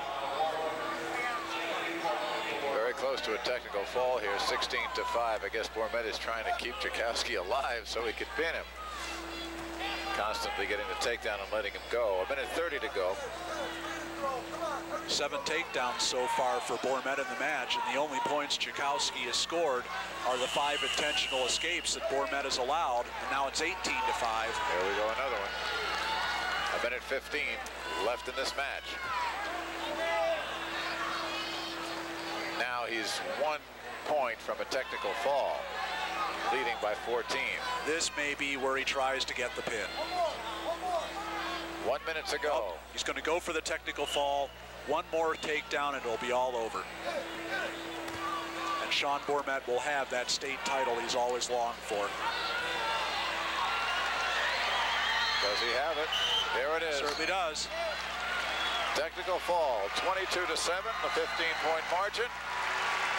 And Sean Bormet, as you said, Rob, after a lot of years of disappointments, has certainly earned his state championship at 145. Sean Bormet, congratulations, Sean, from Providence, New Lenox. show you some of the action at the close of the match. Bormet, one of the best ever in the history of Illinois on his feet. Look at this. Chakowski's got the single leg here, but Bormet will just step over superior hip strength and leg strength, and that's the takedown that wins it. A technical fall at 5.14 for Bormet. All right, let's go over to the Class A's where Steve Kelly, a defending champion at 138, is looking for another championship at a higher weight class. A pin for Steve Kelly. As we joined it, Kelly gets it. At 446. Kelly finishes an undefeated season. He's 44-0. The second champion for Sterling Newman this year. Mike Mena won it at 103. And now Steve Kelly of Sterling Newman, his second title at 145. His opponent, Pat O'Connor from Illini Bluffs of Glasford. Well, lots of action at 145 on both the Class A and Double A levels. Let's go to pick up the award ceremonies at 140 pounds. You're looking at Steve Kelly. Third place, Dan Keene, Piatone. Second place, Steve Wood, Harvard. And your 1989 champion from Clinton with a record of 39, 3 and 2, Dan Barkley. Now the double A awards at 140. In sixth place from Naperville Central, Mike Nichols.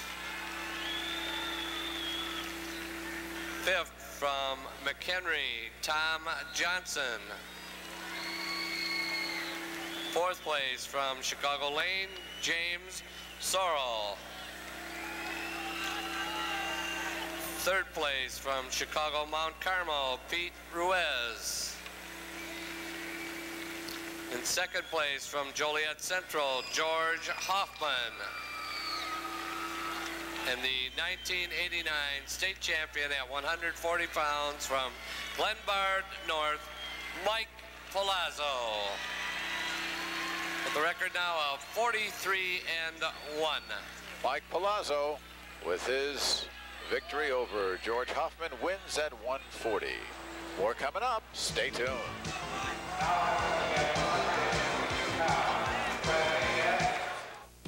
For great personal service and low everyday prices, check the lineup at your neighborhood True Value hardware store, where the March hardware value of the month is this ITT Trendline telephone.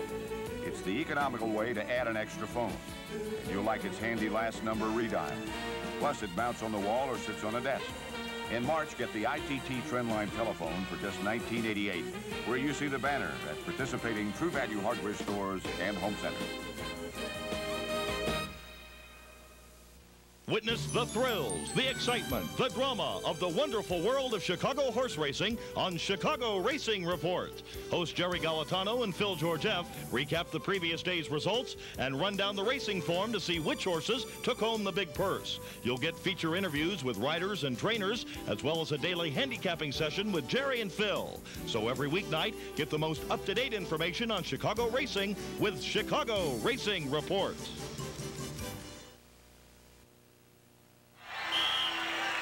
Contestants at 152, Paul Andriotti of Marist, he's in the white, and Mike Frecking of Warren High School in Gurnee, the Blue Devil in the blue. Andriotti, defending state champion at 145. Just one of those unflappable wrestlers that always seems to be in control. No situation on the mat phases him. So far, he has a pin and two technical falls in the tournament. Meanwhile, Frecking is his first time qualifying here for state. He won the sectional at Barrington. Frecking with the first scoring chance. Had a single leg up in the air there. Wasn't able to finish it. They're back on their feet. Frecking, an interesting technique. He's only had one pin all year, but you told me 22 technical falls. I guess he likes to pile up points. Huh? Terror on the mat, Mike Frecking is. One minute gone. Battle of unbeatens. I mean, both of these, both of these young men deserve to be where they are. No question about it. The official Jack Lease of Northbrook bringing them back to the center. No score. We've gone about a minute 10. Stall warning against both wrestlers, kind of uh, unusual considering there's been quite a lot of action in the first minute, even with no points. Andriotti in white, Frecking in the blue, and Andriotti trying to make a move. Duck under, single to a high crotch by Andriotti. He gets his hands out, he's got the two points, he does. Frecking tried to keep in the arm whizzer there, but he lost it, and Andriotti has the first takedown, and now this is where Andriotti gets really tough, is on the mat. You gotta, you, this is what the opponents dread, being on the mat with Andriotti, because he'll just eat you up down there. 10 seconds left in period one. Andriotti with the only scoring, the takedown for a 2-0 advantage. We're coming to the end of the first period.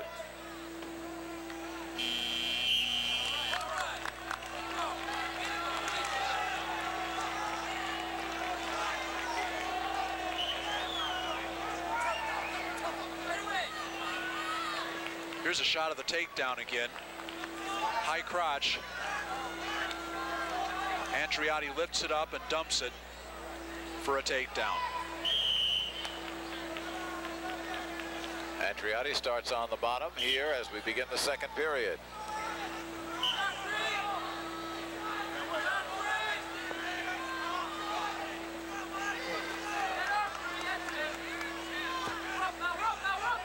Andriotti's coach, Mark Gervais, and the coach of Warren is Mark Tiffany.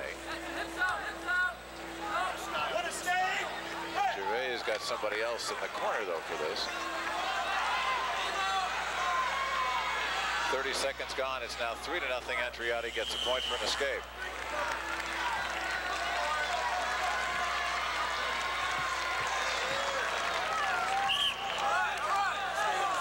Off the mat. And again, off the mat has to be really off the mat. You can have a certain amount of uh, space on the mat. Here we go. Look out. Andriotti looking for the pin right there. Did they give points for a near fall? Yeah, they did. 5 nothing. And now the reversal. Beautiful reversal there by Frecking. A lot of action in 10 seconds. A little quick for a uh, for a near fall there for Andriotti. Well, it's 5 to 2 and tried to rush that cradle situation just a little bit, got his hips a little too far over, and Frecking came back and got the reversal. 40 seconds left here in the second period. 5 to 2. Andriotti leading. There's the uh, Granby roll by Andriotti. Gets the reverse. With so the hip, with the hip to two.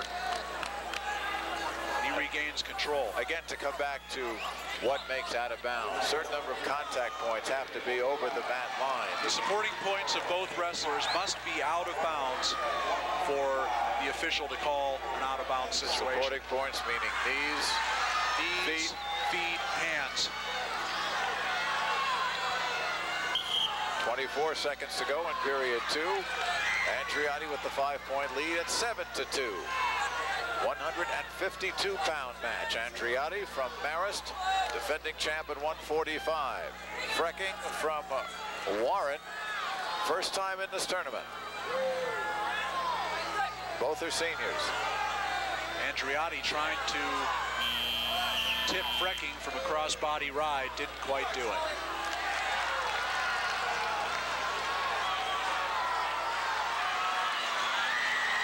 Okay, right here going to see the ankle pick by Andriotti, trying to lock up a cradle. But a nice roll by Frecking, and he scoots Andriotti's hips by, and he'll eventually come out with a reversal there. Start of period number three. And right away they break it. An illegal hold charged against Frecking, so the point will go to Andriotti.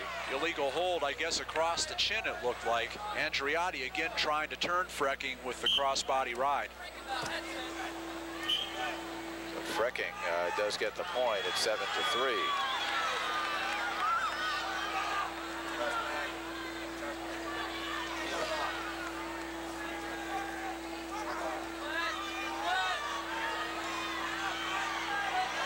Frecking, this is where you don't want to be. You don't want to be underneath Andriotti, who's so tough on top. Frecking won the sectional at Barrington. Andriotti the sectional at Andrew. Both men, Rob mentioned, undefeated. 43-0 for Andriotti, Frecking 40-0. One minute 10 left in this match. Andriotti with the four-point lead.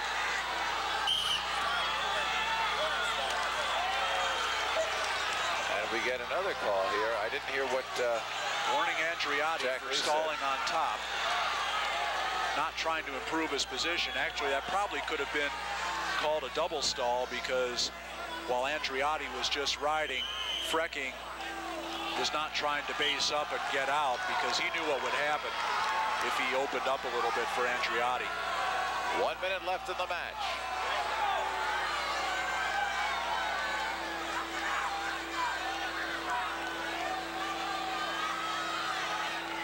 Four hundred and sixty-eight competitors, two hundred and sixteen schools. We are now down to the top fifty-two.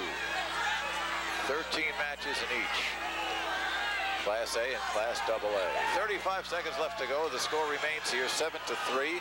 Paul Andriotti from Marist over Mike Frecking from Warren.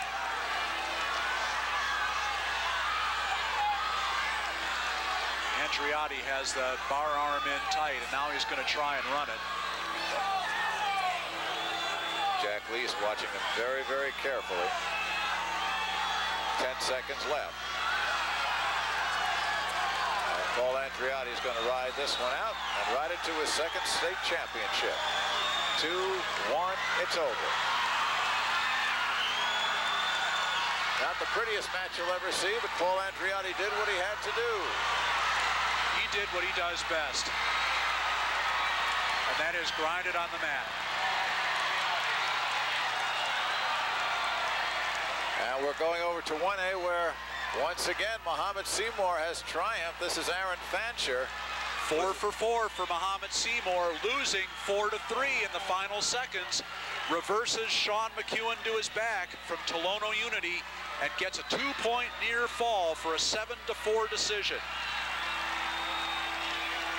And over at 2A, Paul Andriotti from Marist with his second state championship. This one at 152 pounds. Well, let's go over now and pick up the award ceremonies at 145 in A and double A. In Class A, in fourth place, from Montini, Pat Mahoney. In third place, from El Paso, Phil Hines. In second place, from Glasford Illini Bluffs, Pat O'Connor. And your 1989 champion from Sterling Newman with a record of 44 and 0, a two-time state champion, Steve Kelly. Steve Kelly with the pin wins the Class A championship, pinning Pat O'Connor.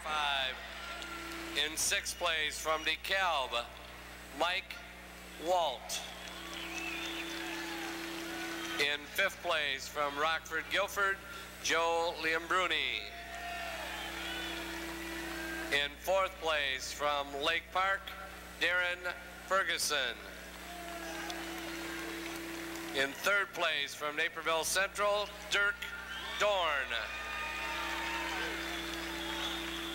In second place from St. Lawrence, Jim Jakowski. And the 1989 state champion from Providence with a record now 48 and 0, Sean Bormet. Sean Bormet finally made it and made it in grand style. He is state champion. On the Class A man, from Tolono Unity, Terry Magwell from Argenta Oreana. You know, I would almost say Double A from Cahokia, Donnell Thomas, Chicago Mount Carmel, Bill. We'll be back in a minute.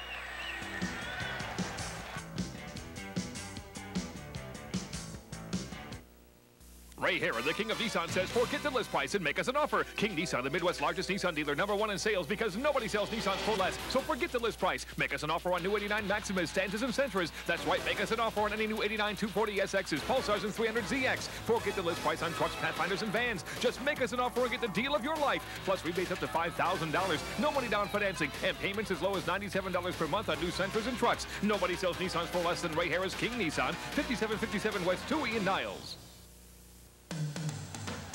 The electricity, the sound, the suspense, the entertainment, the fun, the game, the Bulls. Friday, March 31st, it's the Bulls versus the Cleveland Cavaliers. And it's the Acura Legend Classic featuring Bulls players from the past. Call 853-3636. The game is only the beginning. In progress, the 160-pound Class AA match. Interesting story here. Darnell Thomas in the blue. He is from Cahokia against Bill Guide of Mount Carmel. No score with about 30 seconds gone. Now, when you look at Darnell Thomas, you're looking at a young man who basically wrestling has given a new lease on life, Rob. That's correct. He uh, is a, was a product of uh, East St. Louis.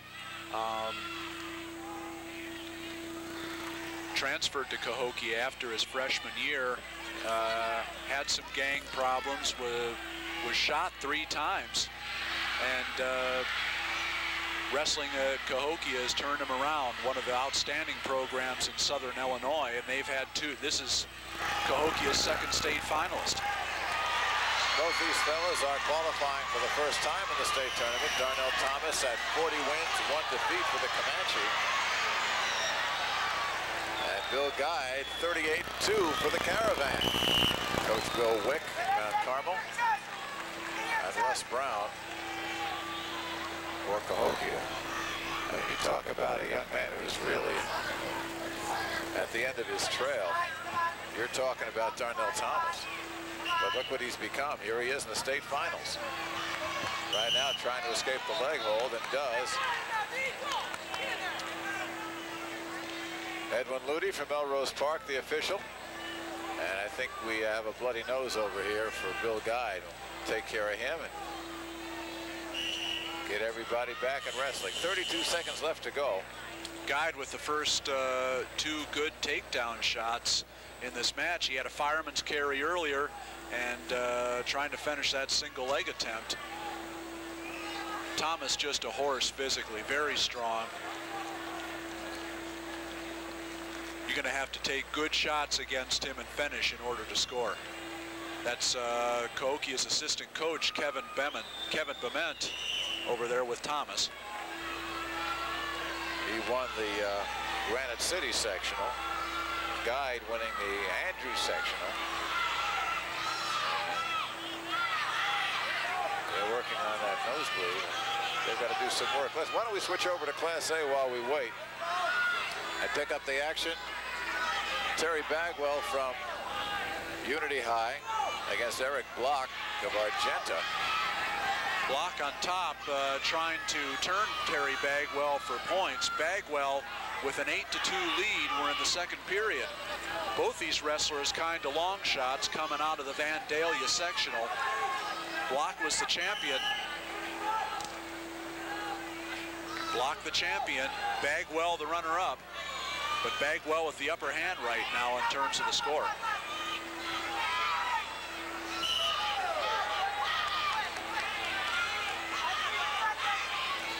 One minute to go in the second period of that match. Meanwhile, still no score over double A, so we'll stay with the Class A one for a while. Block still trying to turn Bagwell.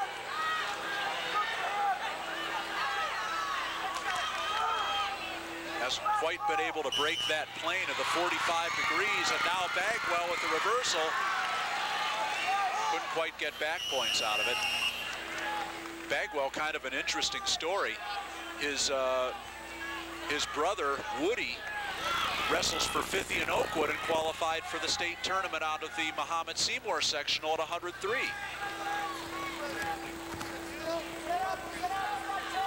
Eric Block Terry Bagwell. Nine seconds left to go in the second period. Now a reversal for Block. Won't be able to get back points because both Bagwell's shoulders are off the mat. Bagwell still with a 10-4 lead with just two seconds left to go. Well, let's come back now to Double A, where they're just starting the second period. Still no score in the match between Darnell Thomas and Bill Guide. Guide starting on top. Thomas will try to get off the bottom and score here. That is Guide in brown. Darnell Thomas in the blue on the bottom.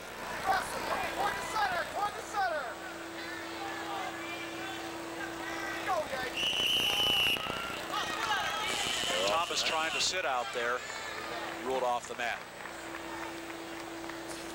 Neither man has scored, and we're almost halfway through this match.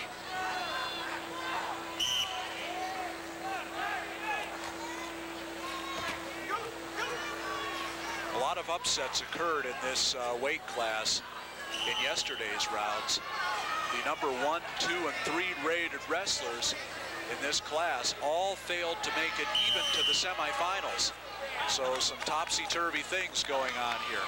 You know, the let's talk a bit about the new weight classes, which they had instituted over the IHSA a couple of years ago to take effect this year. They are more centered in the middleweight classes. That's correct. A study was done by the uh, National Federation of uh, State High School Associations, of which the IHSA is a member, and it was determined that uh, the average weight uh, weight of a high school wrestler was somewhere in the neighborhood of 140 pounds, and that there ought to be more weight classes in the middle. The problem has been that they took away the 98 pound weight class, and the chairman of our advisory board did a study of over 10,000 wrestlers in Illinois and discovered that it in fact, while the most popular weight class was in the neighborhood of 140 pounds, 138, the second most popular weight class was 98. So it goes really against the grain of the kind of situation we have here in Illinois. There is widespread sentiment for bringing back the 98-pound class. Everybody wants it. It would have to be a change to the National Federation rules, unfortunately. But uh, I think it's just a matter of time before another lower weight class is brought back. There's a great deal of distance between 103 and 112. Yes. Too much, far too much as Yeah. far as most people are concerned. The old way used to be 98 to 105, then 112, so you'd have three uh, three categories within 14 pounds. You go right up from 103 to 112, then to 119. The little guys, the real little guys, really don't have many, many places to They go. don't have much to cut. The, the wrestlers you see here in the state finals tonight generally carry from about 6 to 8% body fat except for the heavyweights. No matter what weight you're at, it's about 6 to 8%. And obviously if you're at 112 pounds and you're thinking about cutting 9 pounds, there's very not very much to cut as opposed to if you're at a 145, let's say, and want to cut just 5 to 140, there's a lot more to do it. Well, two seconds left to go here in the second period. And still no score. They were attending to Darnell Thomas for a moment, but he seems to be all right. Bill Guide up on top there to finish out period number two. And obviously, um, everything will hinge on the next two minutes.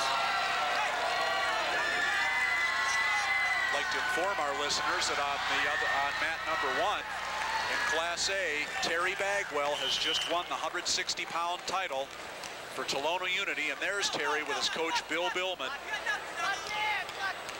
Def defeating Eric Block. Bagwell Block a 12 to 8 winner. block from uh, Argenta. Now we're back here with 15 seconds gone, and we do have uh, a point for Bill Guy. So it's one to nothing. Guide over Darnell Thomas. Guide rode out Thomas in the second period and then got an escape right at the beginning of the third period, an intentional escape by Thomas. Thomas, I think, wants to take his chances with Guide on his feet. Now Tom Guide with a single leg. It's going to be difficult for him to outhorse Thomas here, particularly at the edge of the mat. It minute 10 to go. And Thomas, meanwhile, is still on the schneid. He's got to get a point up there, at least to tie and set this thing into overtime. Trying to bring him, guy trying to bring him back to the center. Thomas would just assume, I would guess, ride this one out of bounds. Absolutely. You don't get many you don't get many chances to take down a guy like Thomas. You might as well try to finish the ones you do get, and that's what Guy tried to do right there. Fans getting a little testy over this match because only one point's been scored nearly five minutes, over now five Thomas minutes. with his first good shot of the match. He's got to make his move now, although they've still got, uh, Guy's still got his arms around the leg of Darnell Thomas. Guy holding on. Thomas doesn't want him to improve his position. If Guide could lift up that leg, he's, he's got the advantage. Right now, a stalemate call, 26 seconds to go. Guide with the one to nothing lead, and again, that one to nothing lead is the result of an intentional uh, escape allowed by Thomas. Well, let's see what Darnell Thomas can do. He's certainly come around more serious situations than this in his life. What can he do in the last 15 seconds? Guy just hanging on to the ankle.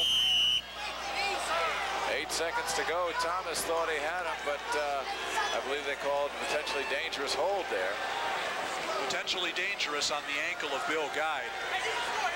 Well, Thomas has got eight seconds to see what he can do, and Guide has got eight seconds to see if he can hold on. Amazing thing is a guy, Thomas, really has not had very many good opportunities to score in this match, and that's been the difference. Well, Guide's going to do it.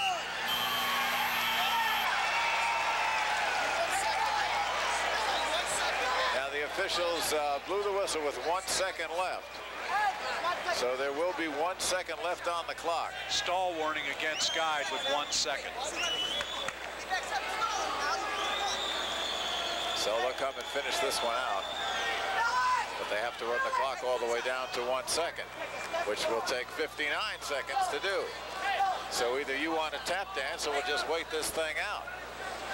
Well, in the state tournament final match, you want to do everything by the book, give everybody that equal opportunity, even though it's pretty difficult to do something in one second. Well, Darnell Thomas has got to be very disappointed, but give credit to Guide. He really kept Thomas away. Thomas was really never able to get a clean shot at Guide.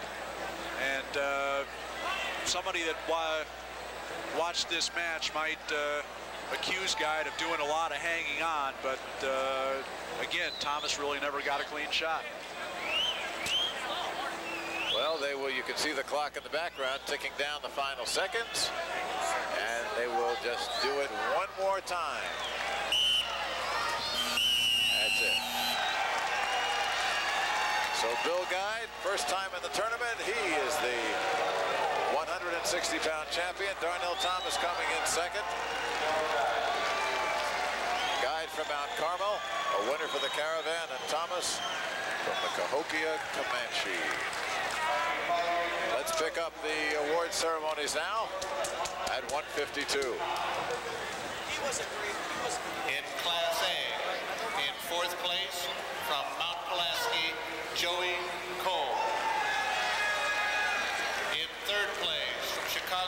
South, Stefan Jones.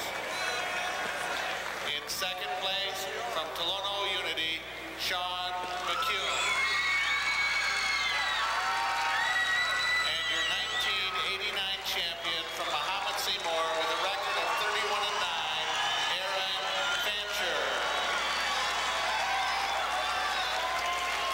Now the double A awards at 152. In sixth place from Rock Island, Ernane Harris. In fifth place from Thornwood, Eugene Browning. In fourth place from Jacksonville, Chris Reef. In third place from York, Pete Maggio. In second place from Warren, Mike Bricky. And the 1989 champion, now a two-time champion from Marist, Paul Andriotti. With a record now of 45. There's Paul Andriotti, two-time champion.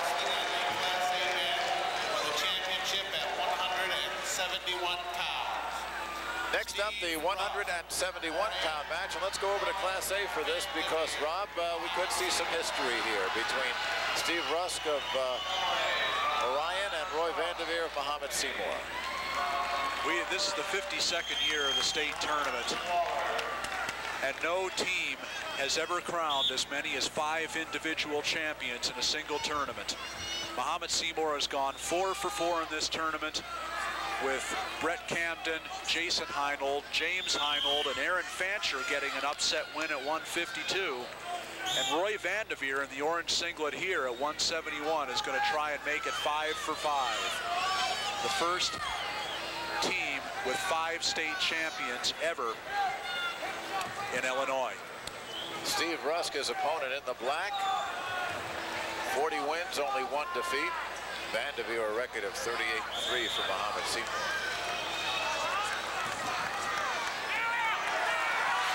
Rusk with the first good takedown opportunity, and he gets the takedown on Vanderveer. Both these wrestlers outstanding on their feet.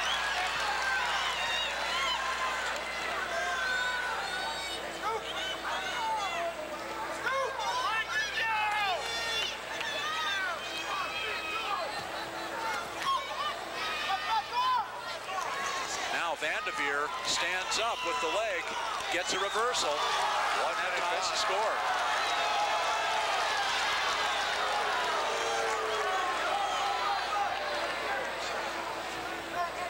Once again, the official, Jack Leese.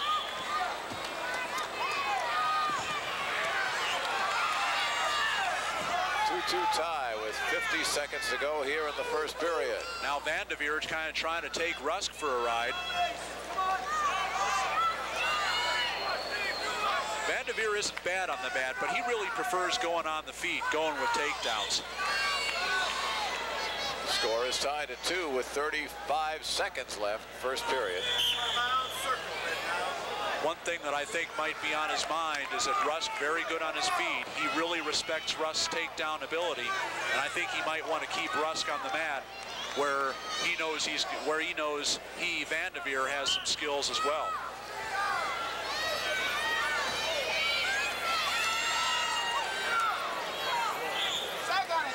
Rusk, a junior, Vanderveer, the senior. Vanderveer warned for stalling on the top, not trying to improve his position. 23 seconds left here.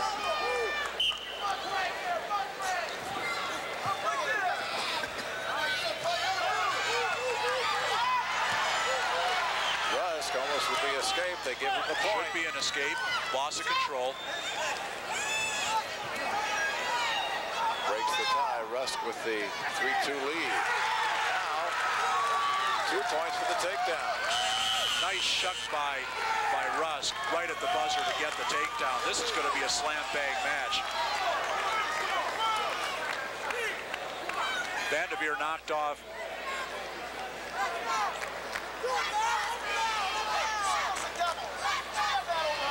Right here, the lift by Rusk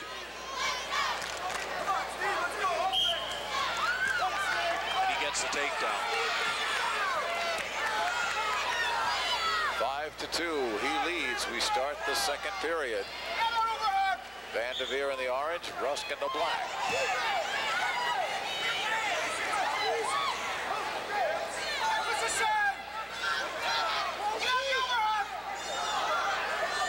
Both wrestlers with the upper body tie. And they're off the mat. Leese will bring them back.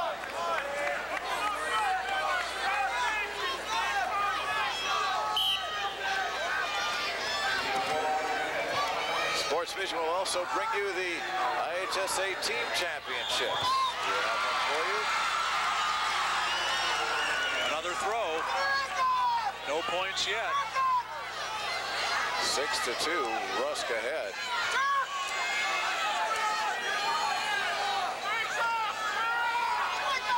This should be a stalemate situation right here. I don't think Vanderveer will be able to spin behind. The team championships will take place at uh, West Leyden High School. West Leyden for the Class AA teams. Mahomet Seymour for the Class A teams.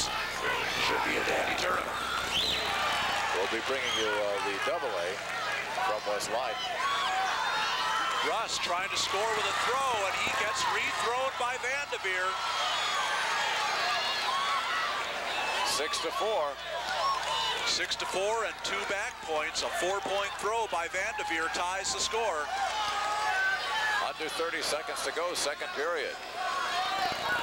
That initially started out as Rusk's throw, but a rethrow by Vanderveer got him four points, and we got a tie match. 21 seconds left here in the second two minutes.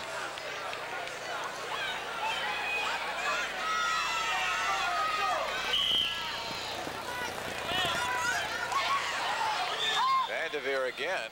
Rusk trying to roll out. Vanderveer hold on. So we've got uh, 12 seconds left. Match tied at six.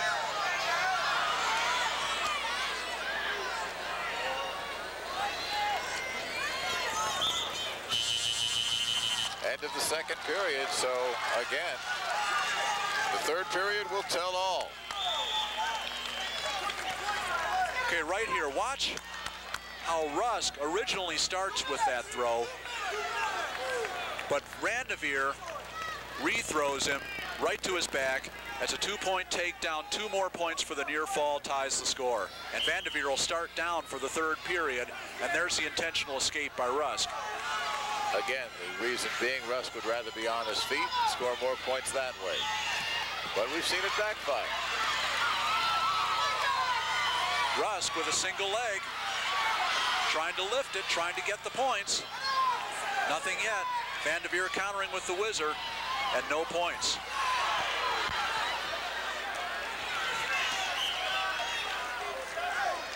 Off the mat. 132 left in the match. Van Vanderveer with the one-point lead on the intentional escape. Good action by both these wrestlers. A very deep shot there by Rusk. Took it from a long way away, which is why he couldn't really finish it. Stalemate brings them to their feet.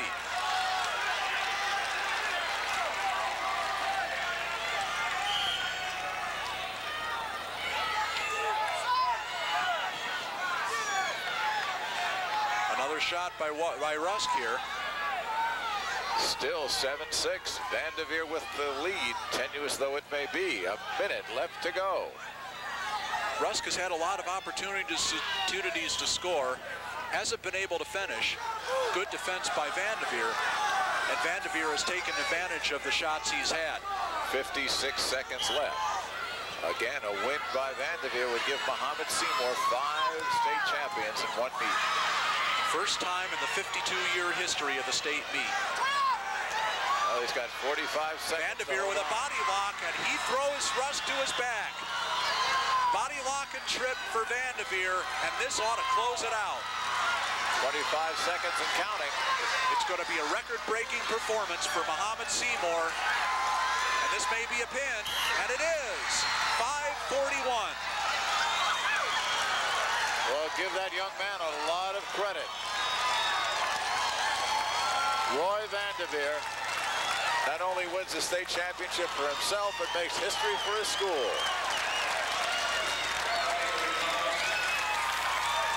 Mahomet Seymour with five state champions in one meet. Never been done before, and here is the way it happened. Okay, here it is. Vanderveer with the body lock and the trip, the leg trip, takes Rusk right to his back. Rusk is dazed, and that gives Vanderveer just enough time to lock up the pin. Now Vanderveer with the chest to chest, and there's the pin. Whammo, beautifully executed. Roy Vanderveer, the senior, and what an exhibition he put on. In the double-A match, Kip Henley of Downers Grove South won the 171-pound title with an 11-5 win over Tuhan Waller of Thornwood. Here is Kip, the senior. Third time he qualified, and he gets the win. Let's go to the award ceremonies. And your 1989 champion from Tolono Unity, Terry Bagwell, with a 37-6 record. In double A at 160. In sixth place from Barrington, Wally Pollock. In fifth place from West Aurora, Corey Anderson. In fourth place from Conant, Courtney Pitter. In third place from Lincoln Way, Rich Murray. In second place from Cahokia, Darnell Thomas. And the 1989 state champion at 160 from Mount Carmel, Bill Guide. Record now of 41 and 2. Bill Guide with that one to nothing victory gets himself a state championship. Yeah, okay, he got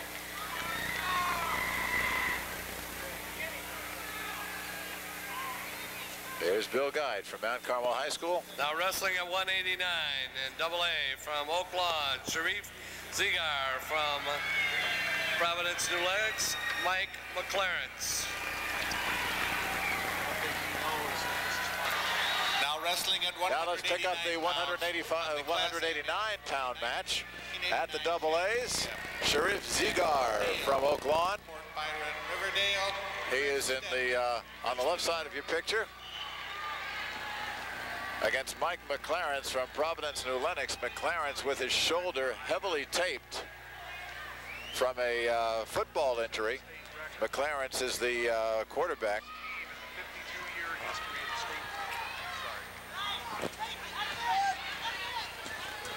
A minute 45 to go and McClarence is down. That will be a uh, two-point takedown for Sharif Zigar. Zigar third at 185 last year, won the Andrews sectional, but he has been dominant in the 89 tournament. Two pins and a decision that went 13 to 2, so Zigar would certainly come across as the favorite, especially in view of uh, the injury to McClarence's shoulder, Rob, I wonder how much that, uh, well, you've watched him. How much is that going to hurt him? Because he just re-injured it uh, this past week. You know, I saw him uh, in his matches yesterday, and there were times when he could barely move that shoulder. As you can see here, he's a dangerous thrower. He loves to throw, very dangerous at it. Well, he trails two to one, but he is almost uh, near fall. I tell you, Zigar's in trouble right here. Big trouble. McClarence holding him down. Leading now with the takedown points, three to two, but he may be getting more here. Clarence maybe trying to bring him back in. 33 seconds left to go, and Zigar gets across the boundary line, and boy, he can breathe a little bit more easily. I have a feeling that that shoulder may not be hurting McClarence a terrible lot, even though it's heavily taped. This is his chance. He's ahead of an undefeated wrestler who's been very highly thought of all year, and injury or no injury, he knows he can throw, and uh, he's going for it. Six to two, he leads. An escape though by Zigar, so that'll make it six to three, and they'll bring him back. Slam bang action here from the opening whistle. 25 seconds left, first period.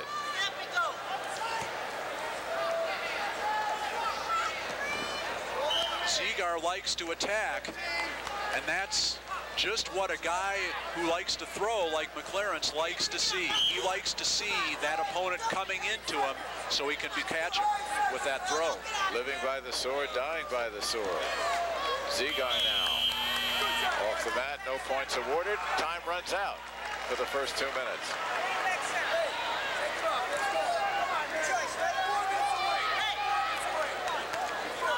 McClarence missed most of December with that injury.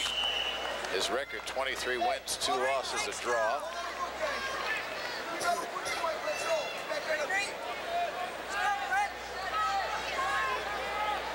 Right here. Just a hip pop by McClarence right off right off his own back, put Zigar on his back. Back live now, action in the second period.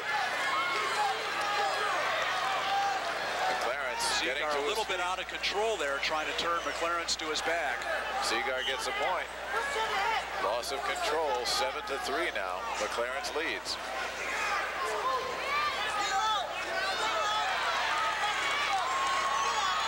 Seagar trying to get a leg attack in on McLaren's, but McLaren's, you can see, has that double underhook in, and that's the defense against a leg attack. It's very difficult to shake a double underhook and attack the legs, and that's what McLaren's is doing.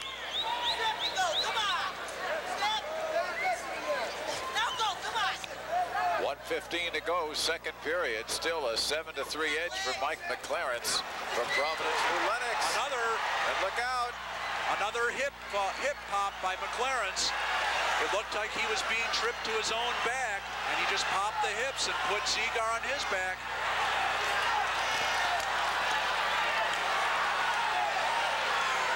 No pin yet, says the official. 50 seconds left. Seagar right now is wishing he was somewhere north of Champaign.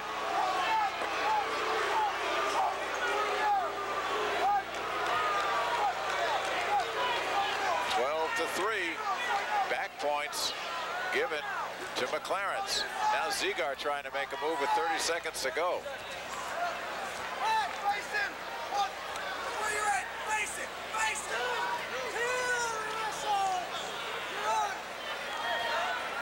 And now two points on the reversal for Sharif Zigar. Zigar undefeated. Rob told you, 42 victories. 17 seconds left in the second period. Zigar on top. Sometimes you live by the throw and you die by the throw, but McLaren's has really lived by the throw in this match. Just tremendous hip action to get out of a two danger spots and turn them into five-point moves for himself. Well, he goes in with a seven-point lead in the final two minutes. Okay, watch Seagar here. He changes his level. He gets the trip. Tries to trip McLaren's backwards. Look at this rethrow. Pops the hips. Wow. And brings him right over. Just a simple rethrow by McLaren's got him five more points, and that's discouraging to a guy like Seagar who thought he might have had four or five points himself. McLaren's keeping the pressure on. A minute 45 left. Seagar trying to escape. McLaren still has that left arm, but now they award one point to Seagar for the escape, 12 to 6.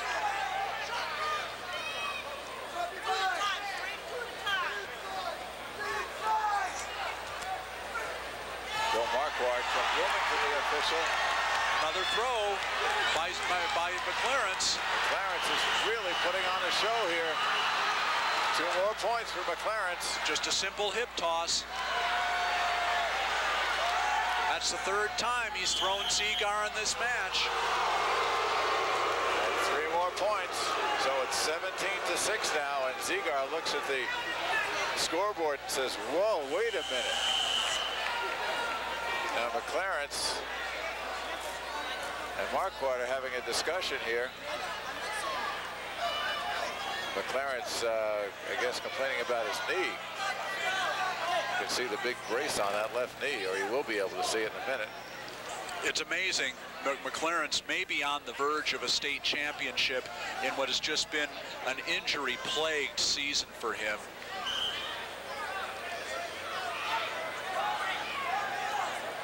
Well, they move quickly, but not quite that quickly.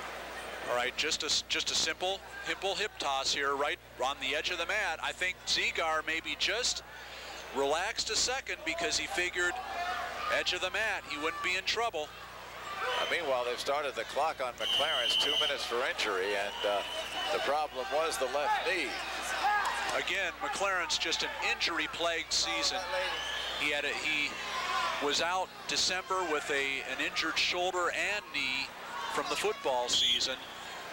He had arthroscopic shoulder surgery, and he's re-injured the shoulder a couple of times, but somehow he's found a way just to look beyond all that pain and uh, maybe go for a state title here.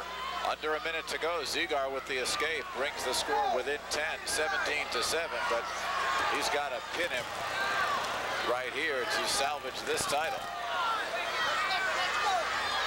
We don't know what's hurting McLaren's shoulder, knee, both or neither, but he's got to hold on for another 33 seconds.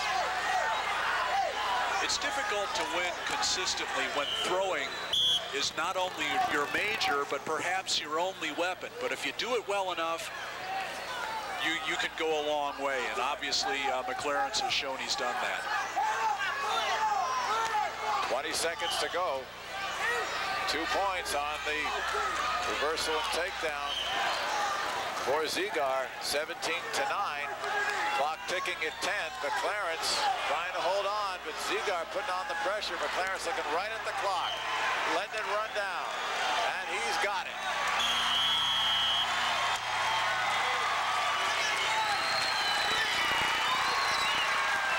Mike with the upset win over previously undefeated Sharif Zigar.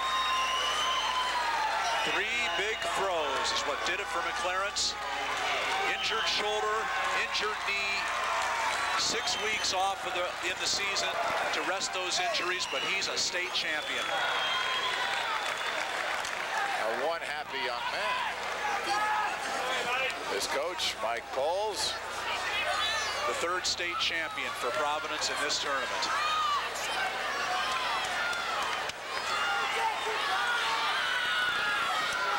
Congratulations to Mike McLaren's. Boy, after the year he's had, I guess this makes up for it. Let's go over to single A. We're almost done there. Looks like we're headed for we're overtime. Headed for OT between Pat O'Neill of Port Byron and Chris Stedman from Richmond Burton. Number one against number two here. Stedman undefeated at 38 and 0. Almost had a takedown there at the buzzer. We're going to go to overtime here at 189. Stedman in the black. That's Stedman you're looking at. Check it. That's uh, O'Neill. Pat O'Neill, a senior, 25 and 1. Stedman, undefeated, 39 and 0. Okay, let's explain the overtime. In overtime, you wrestle three one-minute periods that are essentially mirrors of the regular match. The first period, both wrestlers start on their feet, and again, there will be a coin flip at the beginning of the second period. Interesting rule change from last year to this year is that the overtime is no longer a separate match. It is an extension of the regular match.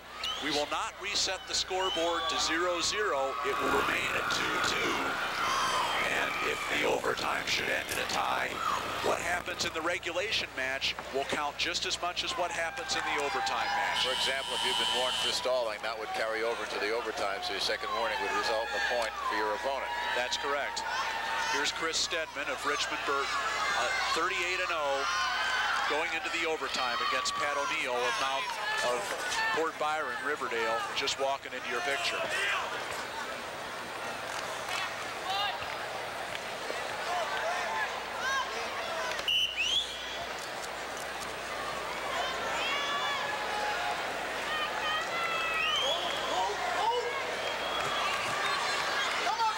seconds gone in the overtime.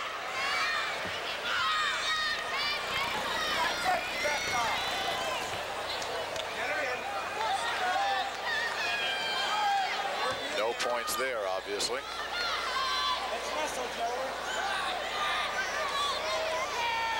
That's Stedman on the right, O'Neill on the left. This is going to be an endurance contest.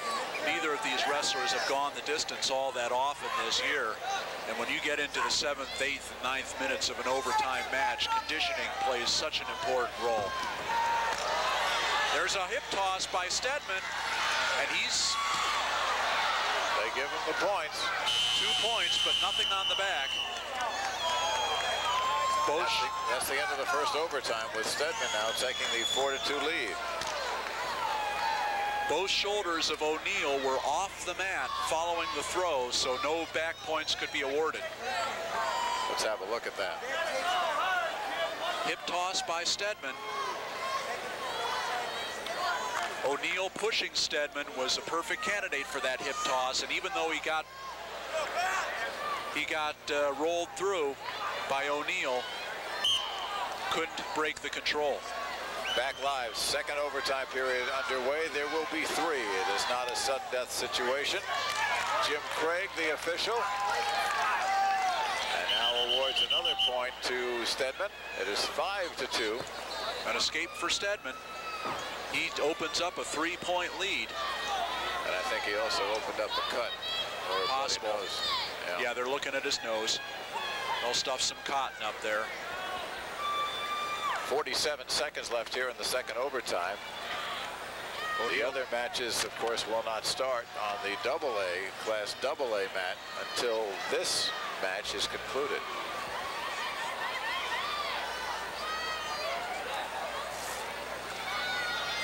Now, is the injury time cumulative too, or do you start fresh in the overtime? Of course, bleeding It's, it's, it's cumulative all the way through the match. Two minutes, two minutes.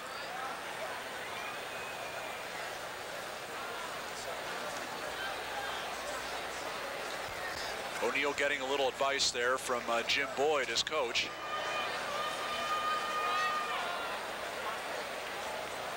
Well, with a moment to reflect here, I still can't get over the the gutty performance by Mike McLaren. really turning all those opportunities against him into opportunities for him. Just an amazing, amazing performance by McLaren's in this tournament. There was talk earlier in the week that my that McLaren's might not even wrestle because his shoulder injury was so serious. And here he is, a state champion. Just an amazing performance. Action back in. 35 seconds to go. Second overtime.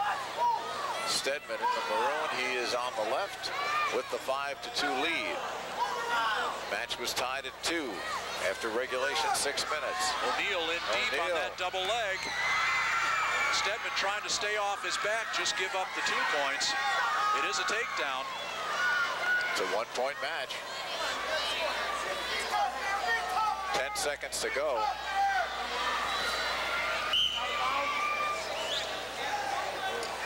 And they go off the mat. Stedman will try to get a quick escape here in the last six seconds so he can go into that third period with a two-point lead because O'Neill will almost certainly start in the down position. And he does get an escape. With one second left. So he does come in with the six to four two-point lead. And that's a clutch move by Stedman. O'Neill starting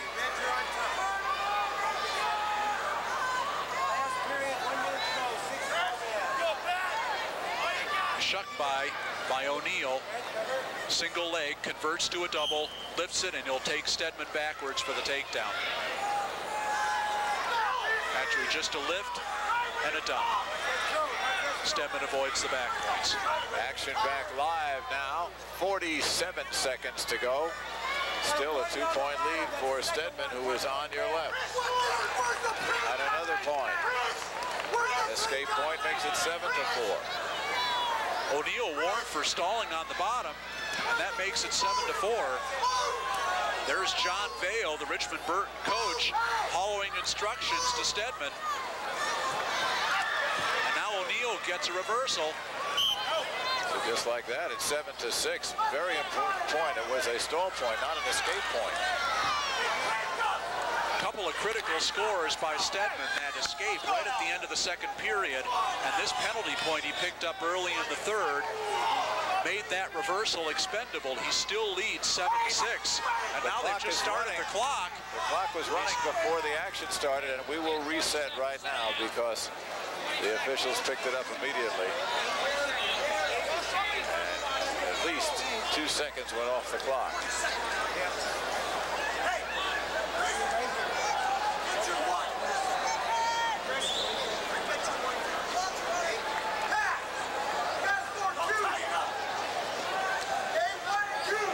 Well, it is a one-point match. And when time is in again, there will be 17 seconds left. Sorry. Chris Stedman trying to maintain that perfect record. It's 39 and 0. Pat O'Neill has lost but once in 26 matches.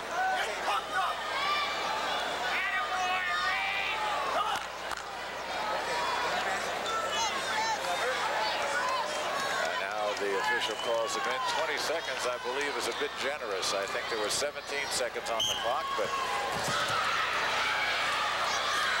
Stedman trying to escape, and he has escaped. It's now 8 to 6. Well, that may do it for him. Nine seconds.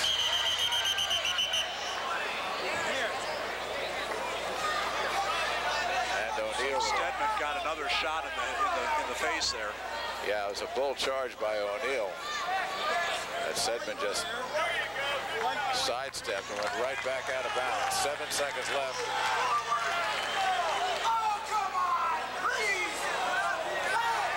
What's happening, Rob? Can't make out what uh, Looks like a point doing. for point for each. Maybe unnecessary roughness. There it is, and Chris Stedman holds on and wins it.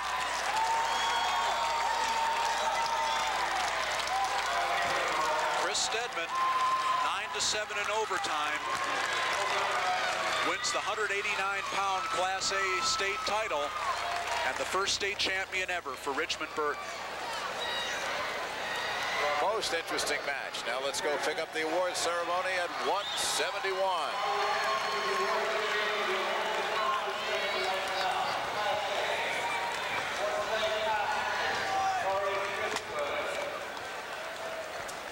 Third place, Steve Hartman from Harvard. Second place, Steve Rusk, Orion.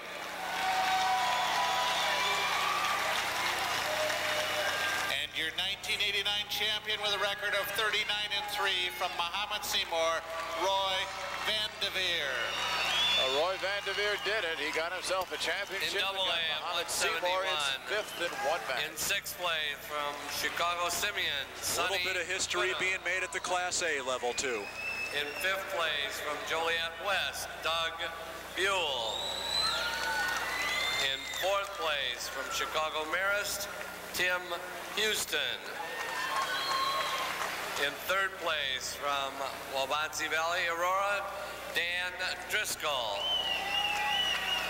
In second place from Thornwood, Dwan Waller. The 1989 state champion at 171 from Downers Grove South, Kip Henley. There's Record Kip now Henley. 40 and 2. from Downers Grove South, the winner at 171.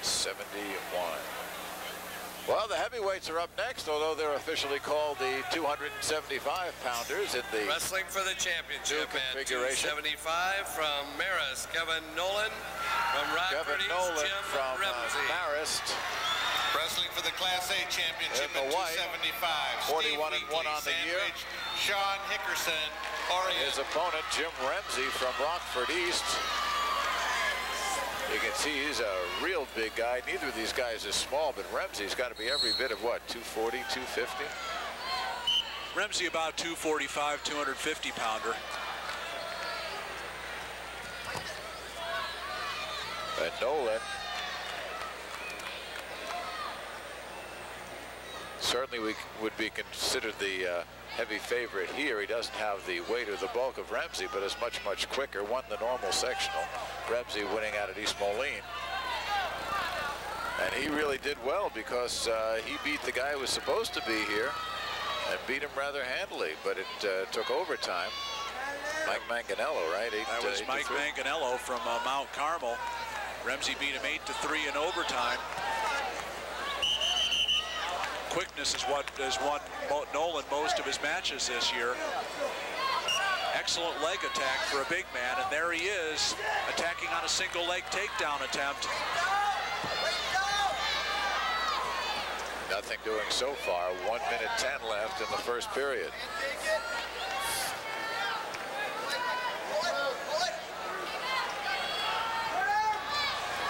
The official, David Matthews from Naperville, watching closely. I don't bring him back with 53 seconds left in period number one. Remzi, a genuine long shot to be here, as a matter of fact. Um, comes from a, comes from a, an area of the state where they're still trying to improve wrestling in general. But uh, got himself a name early in the season by beating uh, several very highly regarded people. Nolan. Nolan countered a throw attempt by Remzi.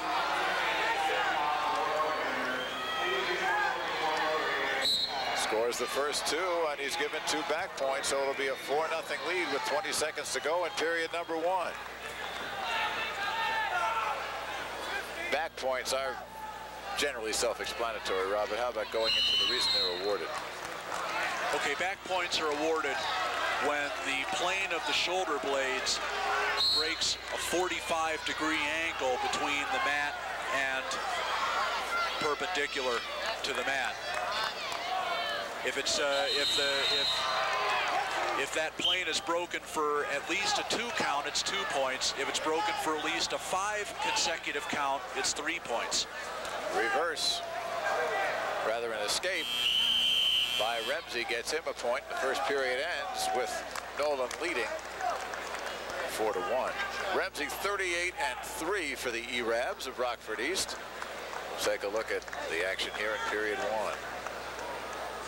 Okay, now right here, Ramsey is going to try a throw, but Nolan just straightened out, and there's the near, there's the exposure, as you can see. Both shoulders for at least a two count, broke that plane, 45 degree plane between 90 degrees perpendicular and the mat. Back live now, 10 seconds gone in period number two. The score remains 4-1 for Kevin Nolan, who's on top. You're going to throw Remzi, you're going to have to do a lot of throwing. Nolan really not a thrower. He's a good, just a good basic wrestler who wins with, with good technique, good riding, and quickness. Um, again, a good double leg attack, and it doesn't generally work against a heavyweight bigger than you are, but he's got the strength to do it, as he's shown time after time this year.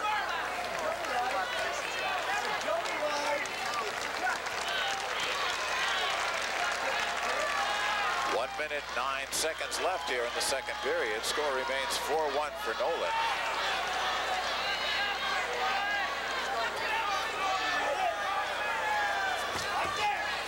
Countering that attempt by Remzi to get to his feet. Marist wrestler is traditionally very, very tough on the mat. Nolan's shown he's no exception. 45 seconds left in the second period. And uh, referee Matthews will bring him back to the middle.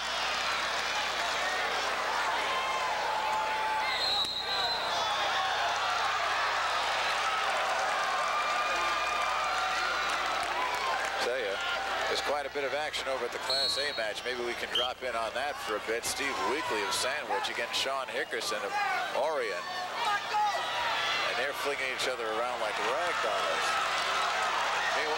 Meanwhile, Remzi gets two points, and we go to the Weekly, who fell behind one to nothing on an escape earlier in this period, just took the lead on a takedown.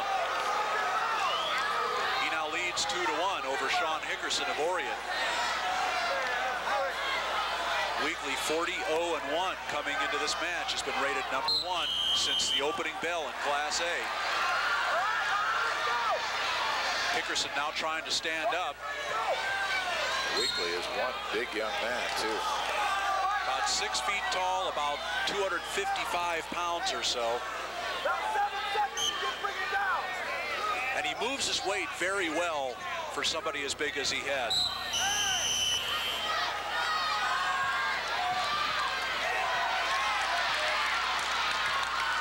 We get the escape, so it's a 2-2 tie. Let's go back to 2A as we'll begin the third final period here, barring overtime, of course. And Remzi, with a couple of late points uh, in that second period, has come on to a 5-3 deficit with Kevin Nolan, the heavy favorite. Starting on the bottom. Nolan in white, Remzi in the dark with the pinstripes. Nolan with a stand-up trying to break the hands, but Remzi brings it back to the mat.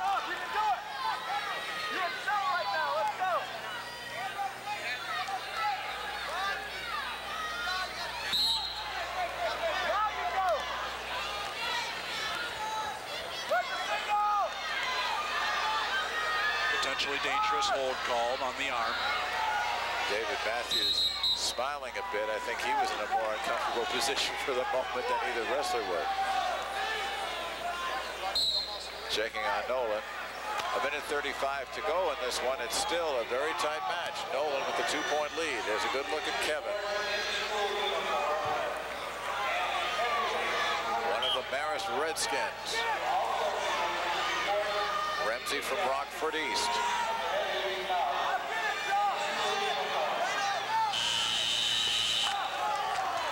Nolan looking for the escape point.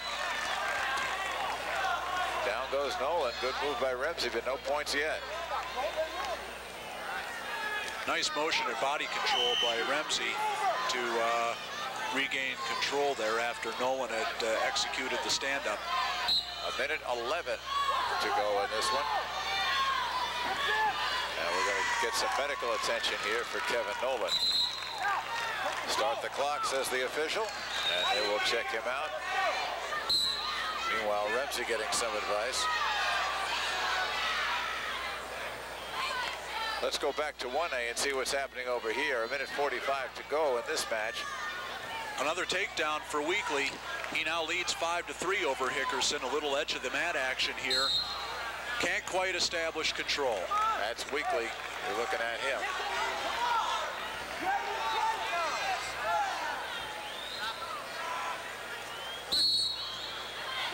Michael Wilkie from Oak Park is the referee in this one. Weekly looking for another takedown. Very good on his feet and moves very well for a young man of his build. All right, let's go back to 2A now and finish up over here because this match is also a 5-3 match. Nolan still trying to get an escape, and now he's thrown the legs over. He's got a reversal. Two big points for Kevin Nolan. Opens up a four-point lead with 50 seconds and counting.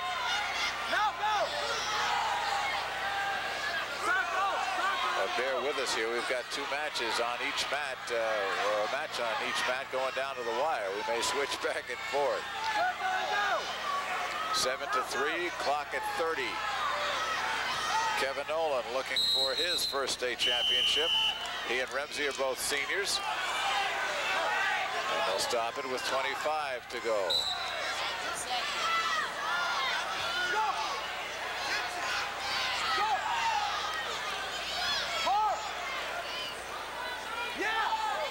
These are the, the heavyweights, 275-pound maximum, and Nolan working now.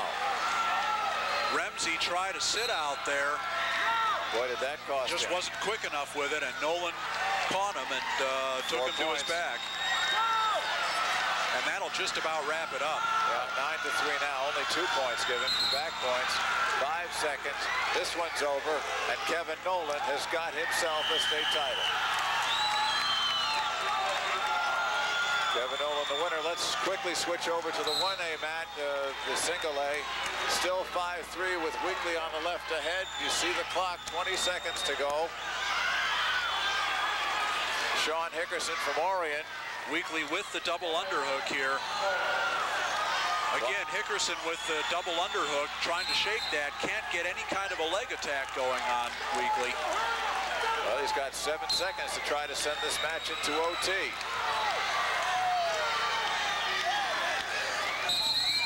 One second left. And it looks like uh, Steve Weekly has got it. There it is.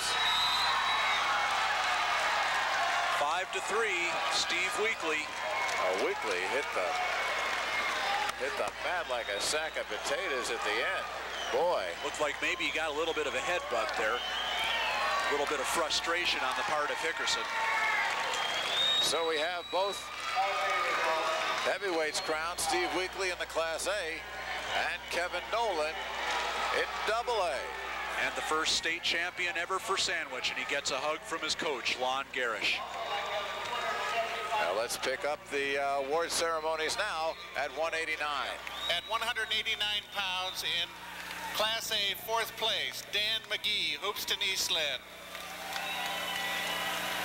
Third place from Glasford Illini Bluffs, Tim Hageman. In second place from Port Byron, Riverdale, Pat O'Neill. And your 1989 champion from Richmond Burton, Chris Stedman with a record of 39 and 0. In double A at 189 in sixth place from Conant, John Medakovich, In fifth place from